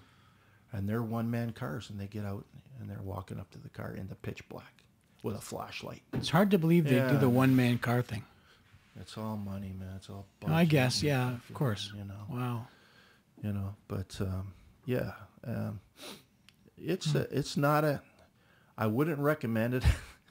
I would never recommend it as a job. I'm glad neither one of my sons got involved with it. Um, it's an honorable profession. First responders of any type Right. are honorable professions as far as I'm concerned, you know. And when you look at those cops that went to 9/11 and you look at those cops that go to these horrendous things happening and they're all heroes in my book because you know what? It takes a special character to put not only your life on the line but to um, sign up to put your life on the line. The same was in military you know to actually go into combat for what?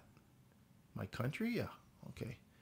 That's honorable to me that's more than honorable that's unbelievable And at the Uh-huh. end of the day, what you were doing uh, had nothing to do with the regular people. Those people, the civilians, uh, the citizens of the city, were, uh, without knowing it, were were were safe. We're safer as a result of what you were and, doing. Uh, I or, like to or think something that for sure. Something I like, like that. to think, Yeah. yeah, I like to think that um, besides saying they were bad guys and I'm justified in what we did to them, I'd rather say we actually did take drug dealers off the streets. yeah. Yeah. Our right. methods might have been a little bit different, but uh, we did do some good in the end. You know, um, did we maybe somewhere down the line we saved some kid's life? Who knows? It, entirely possible. You know, Uh, yeah. like you don't know. But it'd be nice to know that, eh? That's whole butterfly. Yeah, it'd be beautiful to know because then I could shush away some of the demons that follow me around. Yeah. Yeah, yeah, Yeah. Yeah. yeah. Well, the butterfly effect. That's what you're going to say. yeah. Yeah. You You you know. know, it, Nobody you did knows, something to this guy, and everything went out and out Nobody and out knows. ripples. But you know what? One of those guys that we chased away. Say one of those guys that we didn't deal with very nicely. And he went away. What if he decided at that point I'm not going to be I'm not doing this anymore? What if it turned his life around? Maybe maybe turned turned out good. Interesting. You know what Yeah. I mean? Like who knows? Who knows, you know? Yeah. It's just, uh, it's just. Um, I think it's the whole point of of of um, being coming into a job that's honorable, being sworn into something that's you're upholding the law. The law entails that you um, operate within certain rules. Um, breaking those rules kind of take you outside of that they don't apply to me and i'm something special. Um, and that's not a that's not a great feeling for me you know. But by being assigned this by being assigned this detail um, that's what they were basically pinning on us all five of us they were they knew that they were gonna hurt us in the end you know hmm. yeah and they didn't care they didn't care man Did any of you get a carrot at the end of this, or did or did you all just? Well, if a carrot is going into a bureau, none of them ever got rank. Like none of us ever became like. yeah, but I mean, I guess you don't even know what the other ones were promised at the end of the day. So, it stands to reason because you didn't, they didn't uphold the promise they made you. The, the You guys didn't must either. have had a chit chat about some stuff during your time together. and uh, and maybe talked about As to why these he's on and carrots you're or or or yeah why you why me or anything you you guys Except it got to the point where we're saying, "Isn't this great? We don't answer to anybody. Right. We don't. We don't go on parade. We don't have to show up at the division at certain times. We don't have to do paperwork. We don't have to do any of this shit. We do what we want. as long as you guys are getting the job done. Yeah. now what if you guys were never taken out of this detail would it just keep Oh, we going we all knew it eventually it had to end. but if it didn't end do you think that the power would just corrupt you Uh, lifelong powers. Oh, lifelong, like in my private life. well just uh you know i just i just think like when this ended you might you obviously have your regrets um but What? then i think about other people that are in power perhaps the mayor or the chief or whatever and they and they they're gonna they're gonna hold on to that as tight as they can until they retire someday and then have those regrets Yeah, believe Or me, something. This, believe me, this chief and this mayor went went high, high, high. You Yeah. know, and uh, probably got that personality where they can dismiss everything out of their mind and say everything was just I was so good what I did, you know. Hmm. Uh, you know, and when you're ordering other people to do your shit, I guess you can think that way. Well, I didn't really do anything. I just Right. told other guys to do it. Yeah. Right. Like you know, th- these people must think that they did something good, or or or how do you live? You know, with it, uh, if if you if you don't. I guess I'm if not you ever got this you know. mayor, mayor on your podcast, you could ask them. Yeah, but I mean, the people at that level are so far removed from the street, Yeah. so far removed from the average copper in a car, or you, uh, you know, in jeans on a sidewalk. They're so far removed. Uh, they went to bed at night and slept well. Because, Absolutely. Absolutely, Randy. Yeah. Not a doubt in my mind. Not a doubt in my mind. I'm, I'm just glad we're doing such a, a funny podcast. yeah, this is hilarious. This has been Well, I, I don't think gold, I've had this serious of a face for two hours in my yeah, life. yeah, yeah. yeah. Holy crap! well, you know, I guess that's the nature of the beast, but yeah. I wish I could say it was funny sometimes, but it wasn't even funny. You know, it wasn't even funny. No, man. I mean, I mean, as a patrolman, we used to have lots of yucks, you know, lots of laughs, you know, lots of uh, funny stories and stuff. But in this detail, we had none. Yeah. Uh, we had none. You know? Well, it sounded like a pretty serious endeavor. yeah, and, and and scary too. Well, I, I would think that your lives are too. also Yeah, on the scary. line. Yeah, did you did you ever deal with a a, a- a major threat or anything during yeah, this time? Yeah, we did. Yeah, we did. We had we had a guy draw down on us in his basement. Yeah. Okay. Yeah. Yeah. Yeah. Is that something you can talk about? Or not really. Copy that. Yeah. Roger. Not, Well, really. he answered your question. Not really. So, yeah, yeah, yeah. okay. You did. Yeah. Yeah. Well, there you go. So uh, your life was Yeah. also threatened. we didn't have to kill him. Let's Yeah. put- put it that way. yeah, good.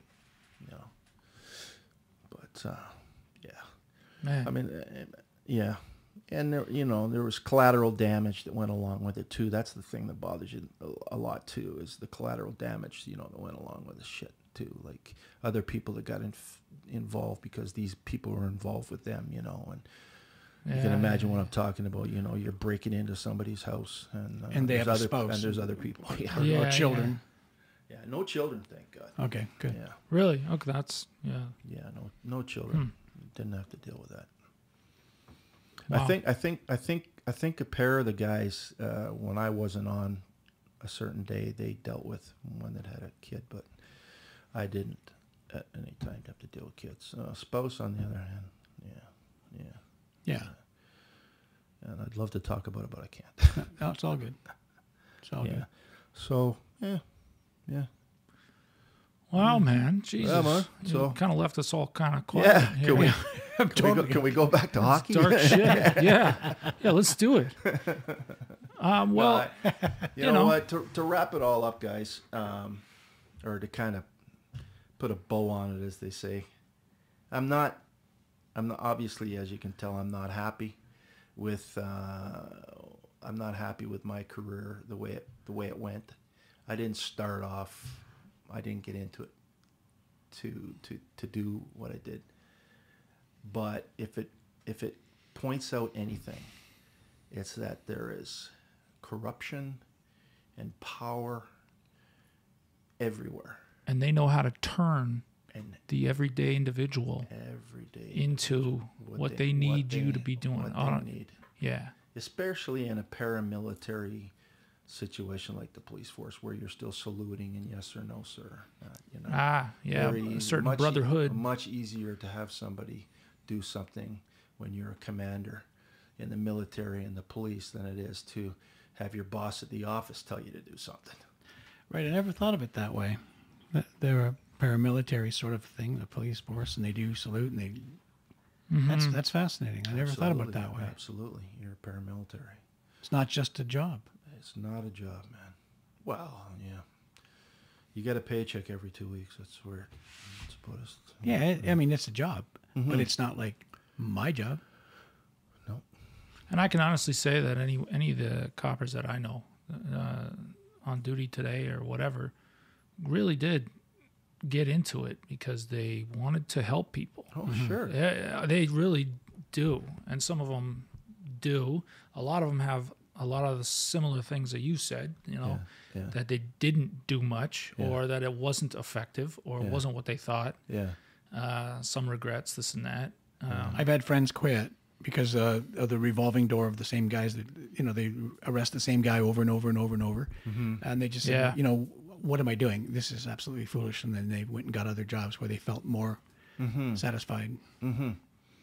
And it's got a very high incidence of addiction in itself. Yeah, and uh, a lot of uh, instance of um, you know um, domestic problems at home. Um, it's awful hard to be. Um, it's awful hard to be the law for eight hours or ten hours a day, and then take your uniform and gun off and go home and have your wife uh, tell you you didn't shovel the driveway or something. You know, like and a lot of guys struggle with. Um, listen, I'm right all the time. right.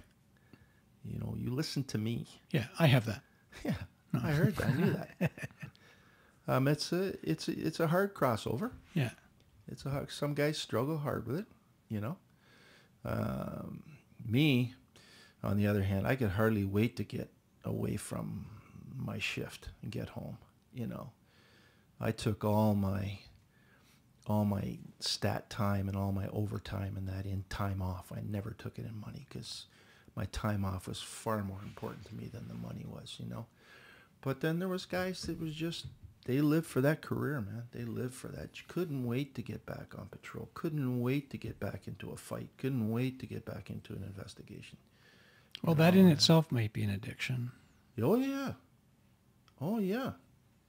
Listen, hmm. I've got into guys' family cars, and I'm going, "What the fuck is that you got on?" He's got a police radio on in his car, wired into his stereo. I say, "You don't get enough of that bullshit all day."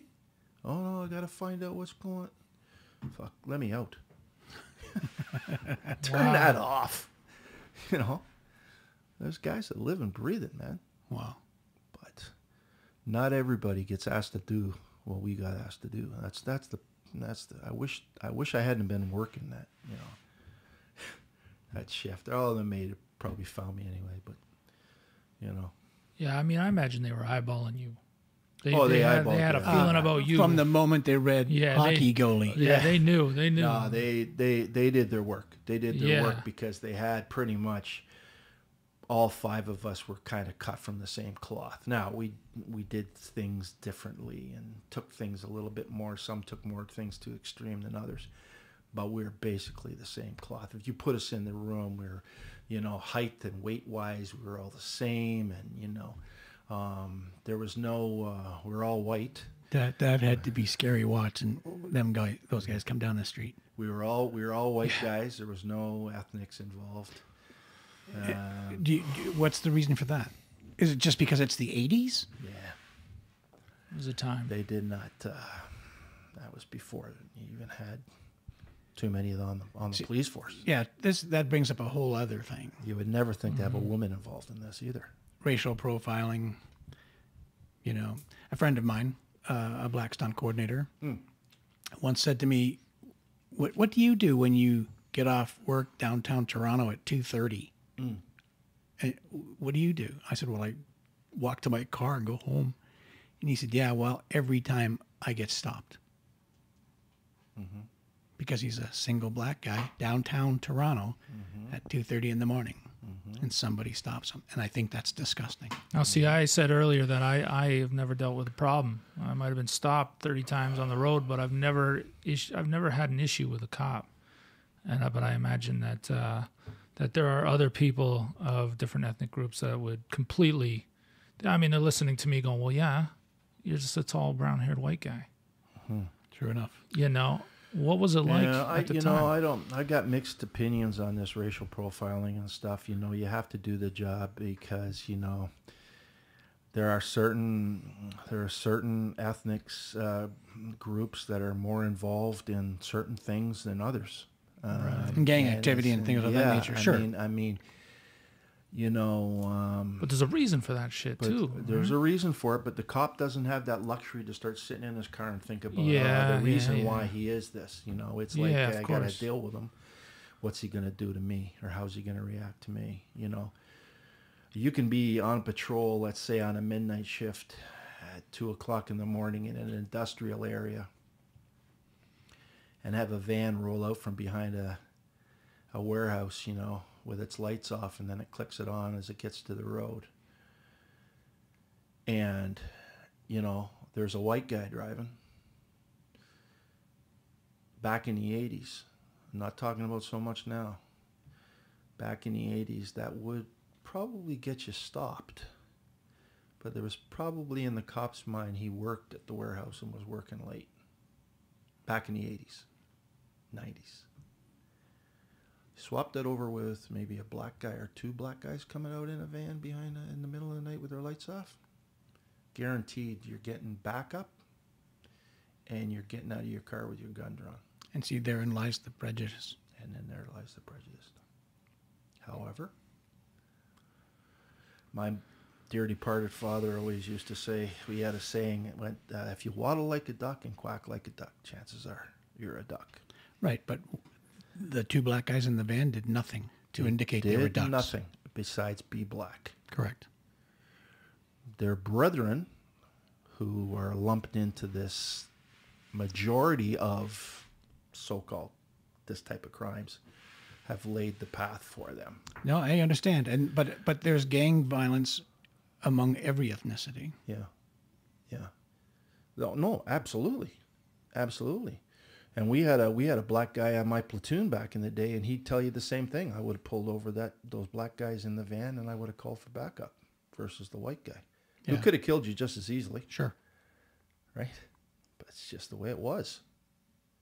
So do you think that the police are misunderstood in that regard, or is it, or you know, we see we see stuff all the time on on TV about you know just race issues constantly. George Floyd's constantly. knee on a neck.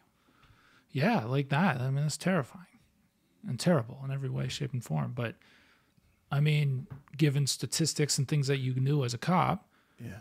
I mean, I imagine cops today, in some regard, are misunderstood. Oh, I would I would agree with you. Maybe I don't know. I would agree with you. Yeah. I would agree with you. And and looking at that cop, you know, with that Floyd guy, you know, I I just wonder what it was in that guy, that copper's head at the time.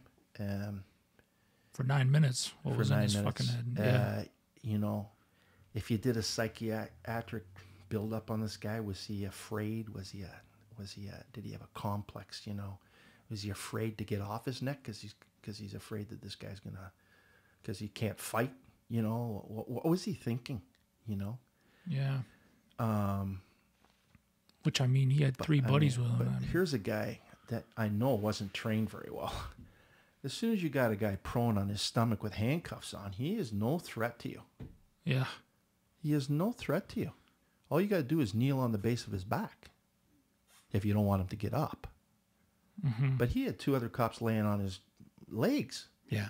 You So could have what- just sat him up, lean him against the car. So, yeah, where is he going? Ha- hands kill. Hands kill. If, if a guy's got a loose hand or two loose hands, he's a threat. As soon as you tie up his hands, nobody's a threat. Unless he can shoot a gun with his toes or stab you with his feet. Which I mean, there's Right. very few of those guys out there. You know. I don't know. know of any. You know what I'm saying? Like, it, and that's got to do with training too. Okay, some of those places in the states they train these guys for two weeks, give them a gun, say out you go. You know, like it's it's ridiculous, wow. ridiculous. But I can see this cop rolling up. He gets the call.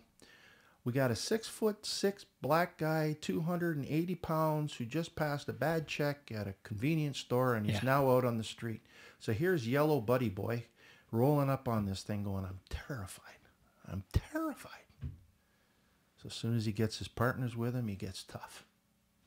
You know, I see it all the time. Tough in numbers, you know, not so tough on your own. But to lay on his neck for eight, nine minutes, like, No, it's. You, you, you, it's obviously it's fucking just, crazy. it's just, yeah, he's not right. The guy's not right. Right. And he's where he belongs, okay? He's where he belongs. And there isn't a, probably another cop on this face of this earth that would say he's not where he belongs. I totally. mean, we're not we're not trained to, to choke out people to death, affecting arrests. Right. You know, you just you're just not.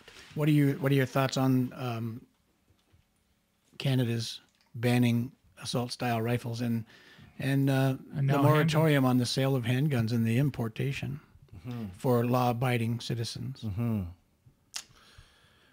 The assault rifles, I kind of get. To me, an assault rifle has one purpose and one purpose only, and that's to kill human beings. as many as possible. as many as possible as quickly as possible. Handgun, on the other hand, has different things. People target shoot with them. Now, people argue, I could target shoot with an AR, you know, 47 or something. Nah, you, you, you don't, okay? Like, they're, they're military weapons, okay?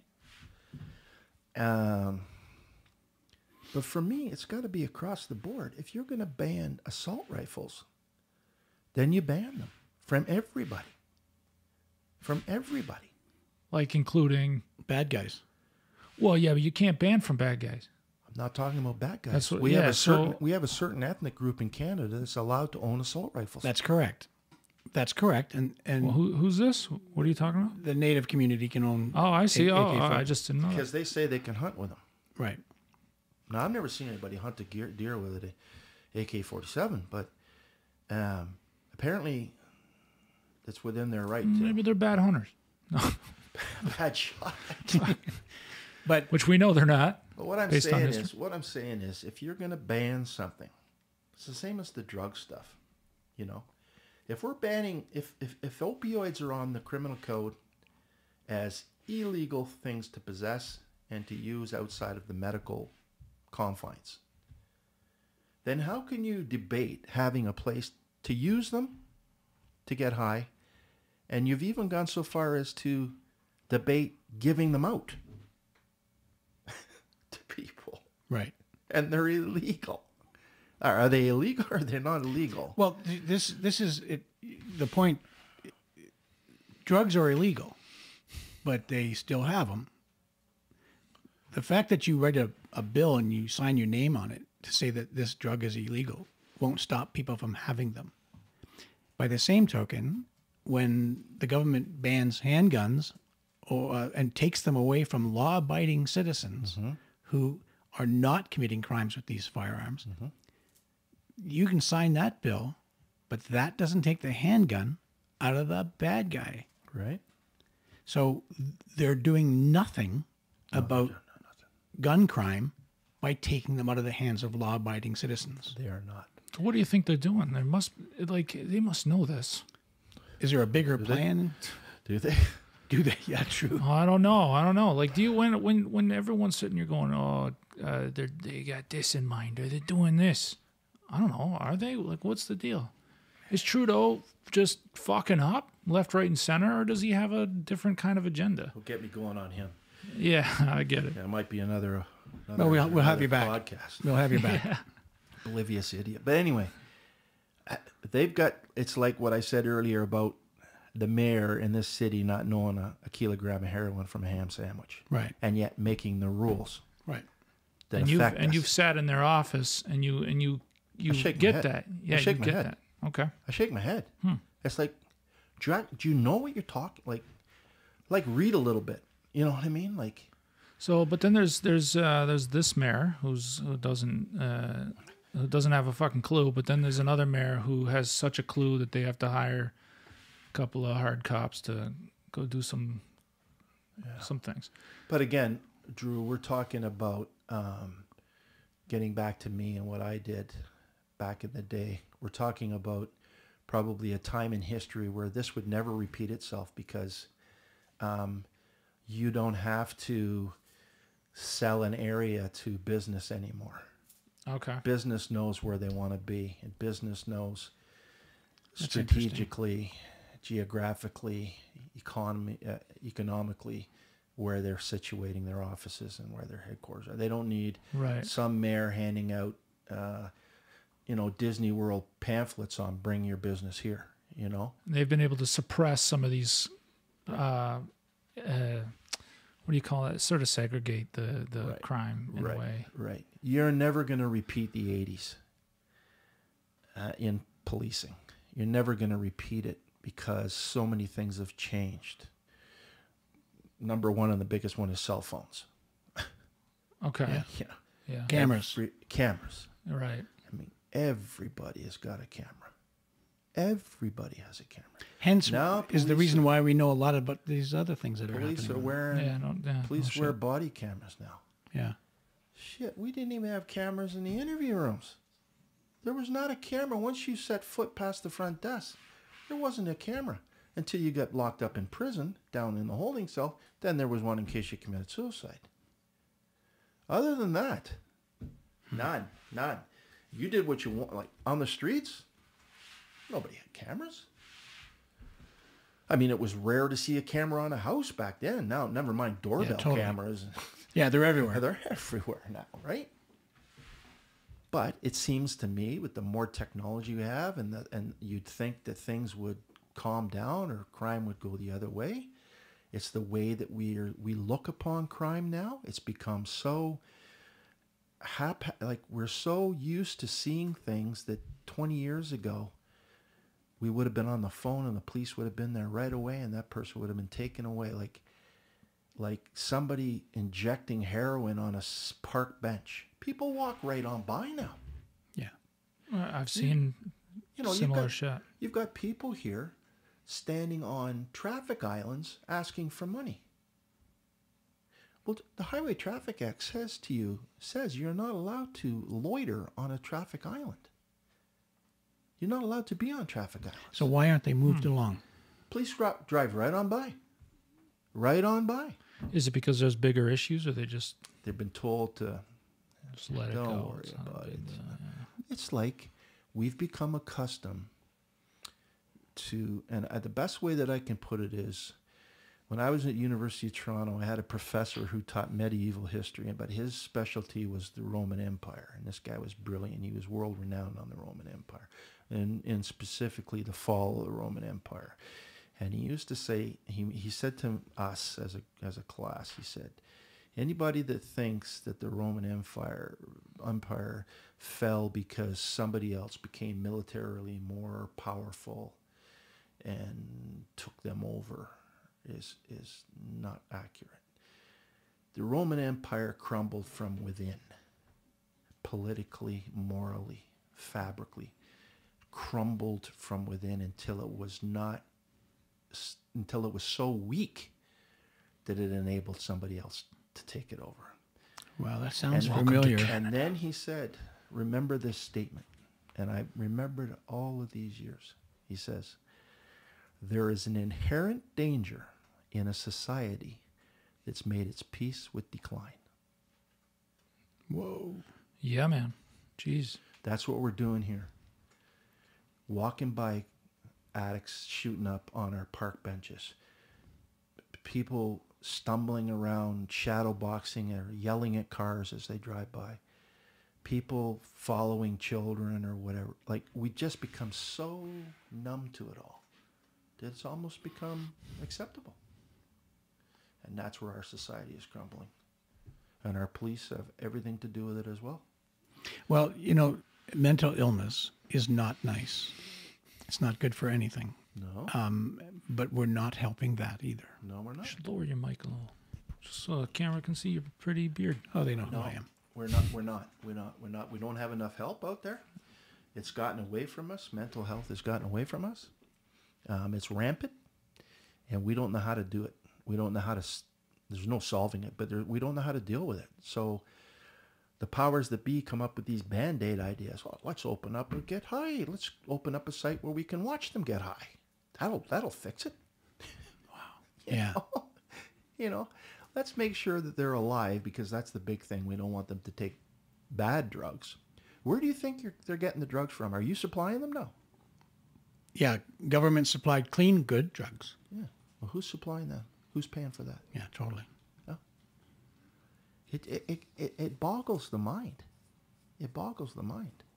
But I don't know where we've where we've got to as far as, like I said, um, the uh, way we we just pass by things now and we we take it as oh well you know same with politicians oh he's corrupt oh we know they're all corrupt you know we, they're all corrupt well don't they work for us don't don't we pay didn't we vote them in what do you mean they're all corrupt But that's true. But what do we do about that? what do we do about it And then we as a society become incredibly complacent to the fact that our politicians are corrupt. We know both sides, yeah and we just take who we feel in our hearts is the better side. Well, that's the thing is we really don't have choice. I mean, if you go to the convenience store, you got a hundred different candy bars. But if you came over to me and said, "Here's three different ones," mm-hmm. that's my choice. Mm-hmm. It's not. I didn't get to go to the candy bar or the convenience store. I only get what you gave me, and that really is what's happened in our world. I mean, I you know I battle with the whole voting thing just only because it's it's one of these three candy bars that I just don't like. I don't like either one of these candy bars. How do I choose? right You know? right Yeah. No, it's, anyway. it's it's perplexing for sure. It is. Um, I don't have a solution for it. I don't know. I I, I don't know what it is, but um, we're gonna have to start as a society caring more about one another, and we're gonna have to start. Yeah. Um, we're gonna have to start um, clamping down on on things that have gotten out of hand. Um, and I'm not talking about locking people up in prison, but we got to do something um, before our Roman Empire crumbles. Well, the, the locking things up in prison, people in prison, i- um, the law states this: if they break it, they should go.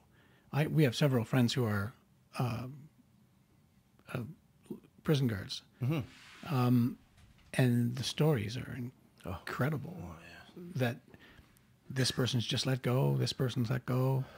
At these guys that just uh, yeah, the the guy that in Saskatchewan. That's right, Now they're going to the Pro Bowl. Why'd you let this guy go? hundred percent. Tried to stab somebody before. Yeah, totally. and you've got him down here as a, as a high risk to reoffend. Right. But you let him go? Yeah, Now he just killed 10 people. Yep. Oh, that's all right. yeah, But uh, it's just, yeah. it's just mind boggling. Now, is there? I mean, if if somebody like that, they can't justify keeping him in prison uh, for his, uh, you know, his crime wasn't uh, big enough. So, is there? I mean, what kind of middle ground could there possibly be? Is it somebody looking after these people, making sure nothing, uh, these ten stabs can't happen? You know, how how the how the hell do you even prevent something like that? Some people are You rehabilitated. ban, they, you ban knives. you know, well, yeah. Uh, no, there there has to be a there has to be a list of, of offenses that are considered this side of the spectrum, and there's got to be ones that are considered this side of the spectrum. Well, that's you know interesting. what I mean, I mean, there are people in prison to this day uh, because they had uh, 20 pounds of marijuana. oh, listen, man, I think about and now that guys- marijuana is legal, I but they let the criminal, that's, that let the violent guy out.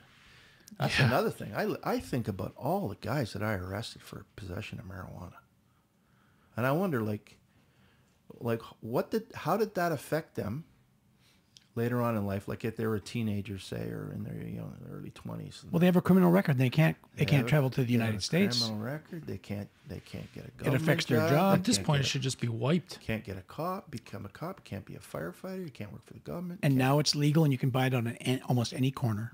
Buy it on Amazon for Christ's sake. There you go. I'm buying some when I leave here. That's That's surprising. Right? you know, yeah. Once again, I'm shocked. That's hilarious. Just saying, you know. But again, back to my spectrum sides. Marijuana has been put on a spectrum. It's been put this side of illegal drugs. Right. Is it habit forming? No. Can we prove that people high on marijuana are violent? No. Do people high on marijuana usually commit crimes uh, other than passing out somewhere or something? Yeah. Loitering. These are the No, crimes I no, commit. No. So it's been placed on this side, and somebody looked at it down the road and said, "Let's, you know, you might as well just make this legal." So they did. But how how can you how can you justify doing that with fentanyl Right. Or or, or, or methamphetamine or, or, or oxycontin or or, You can't. or That is insane. You can't. Yeah. You know, like it's just chalk and cheese. It's the same back to handguns versus AK-47s. They're two different animals. They both kill, but they're on different sides of the spectrum. You know, They're- Totally, they're totally different things. They're the same, but they're totally different. You know. Um, yeah. Anyway, what are you gonna do? You live your Walmart. life. Yeah. Absolutely. Well, yeah, uh, Mark, I, I don't know if we're totally closing up or nothing at this very moment, but um, before you do go, we want you to sign the table. Oh, Uh, however I've you want to do it. this, man. Yeah, yeah, it's kind of cool, eh? That's awesome. So far, so good. I'll Um, sign it before I leave. Yeah, yeah, just uh, come up with something brilliant. Yeah. That's we yeah, want give it- brilliance. yeah, give it some thought, and you don't have to sign. Eh, eh, we always say you have the choice of the whole table, but everybody just signs there. Yeah. I assume because you're sitting there, but Yeah, you know. Yeah, we want you to stay on camera when you do it. If you get up and come over to his side, yeah, yeah, true. yeah, just you know, so pick your spot, whatever. I will. I will. You want me to do it now? yeah, do Oh, it. Yeah, Just think about oh, what you all want to. right. Yeah, yeah all give right, it some thought or whatever. All right. You know, All right. All right. you can start talking about hockey again if you want. And this is where we mention the people that are listening to the podcast as opposed to watching the podcast. That scratch noise is Mark signing our table. Yeah, yeah, yeah. I think people are getting to know that. Yeah, I like this. You're under arrest, but, but it's but it's it's the yours. Uh, should have a apostrophe got an R E? there. Yeah, yeah. Well, you put the apostrophe in the wrong spot. Oh, I didn't. Listen, Mark, Ah, Hey, well, yeah, you know what? I wasn't an English major. I like that better anyway. He was a history. Love it, man. Mark, thank you for coming down here, Yeah, brother. thanks for having us, guys. And um, I just, like I said, I just want to reiterate for people that are listening and that that uh, um, you know, the police aren't all bad.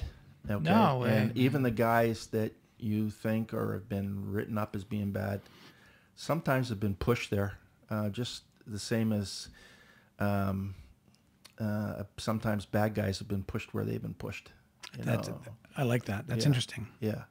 And so if we keep all everybody on that same spectrum, you know, there's good and bad and everything. That's just But, you that's know, the truth, man. Yeah. yeah. But uh yeah. but I think that uh I think that most police are pretty good people. Yeah, Yeah. I would imagine so. Yeah. I agree. Most people are pretty good people. They don't want to ruin your life. They really don't. They really don't want to ruin your life. I know that if somebody got hurt just up the street and somebody's watching, th- most of the time these people come to the aid of Yeah. somebody People because are- they people want to are- help. People want to. People, People are, are good. People are People are good. generally good. Yeah. You know? Like I said, when we start getting away from people being good, then we get problems.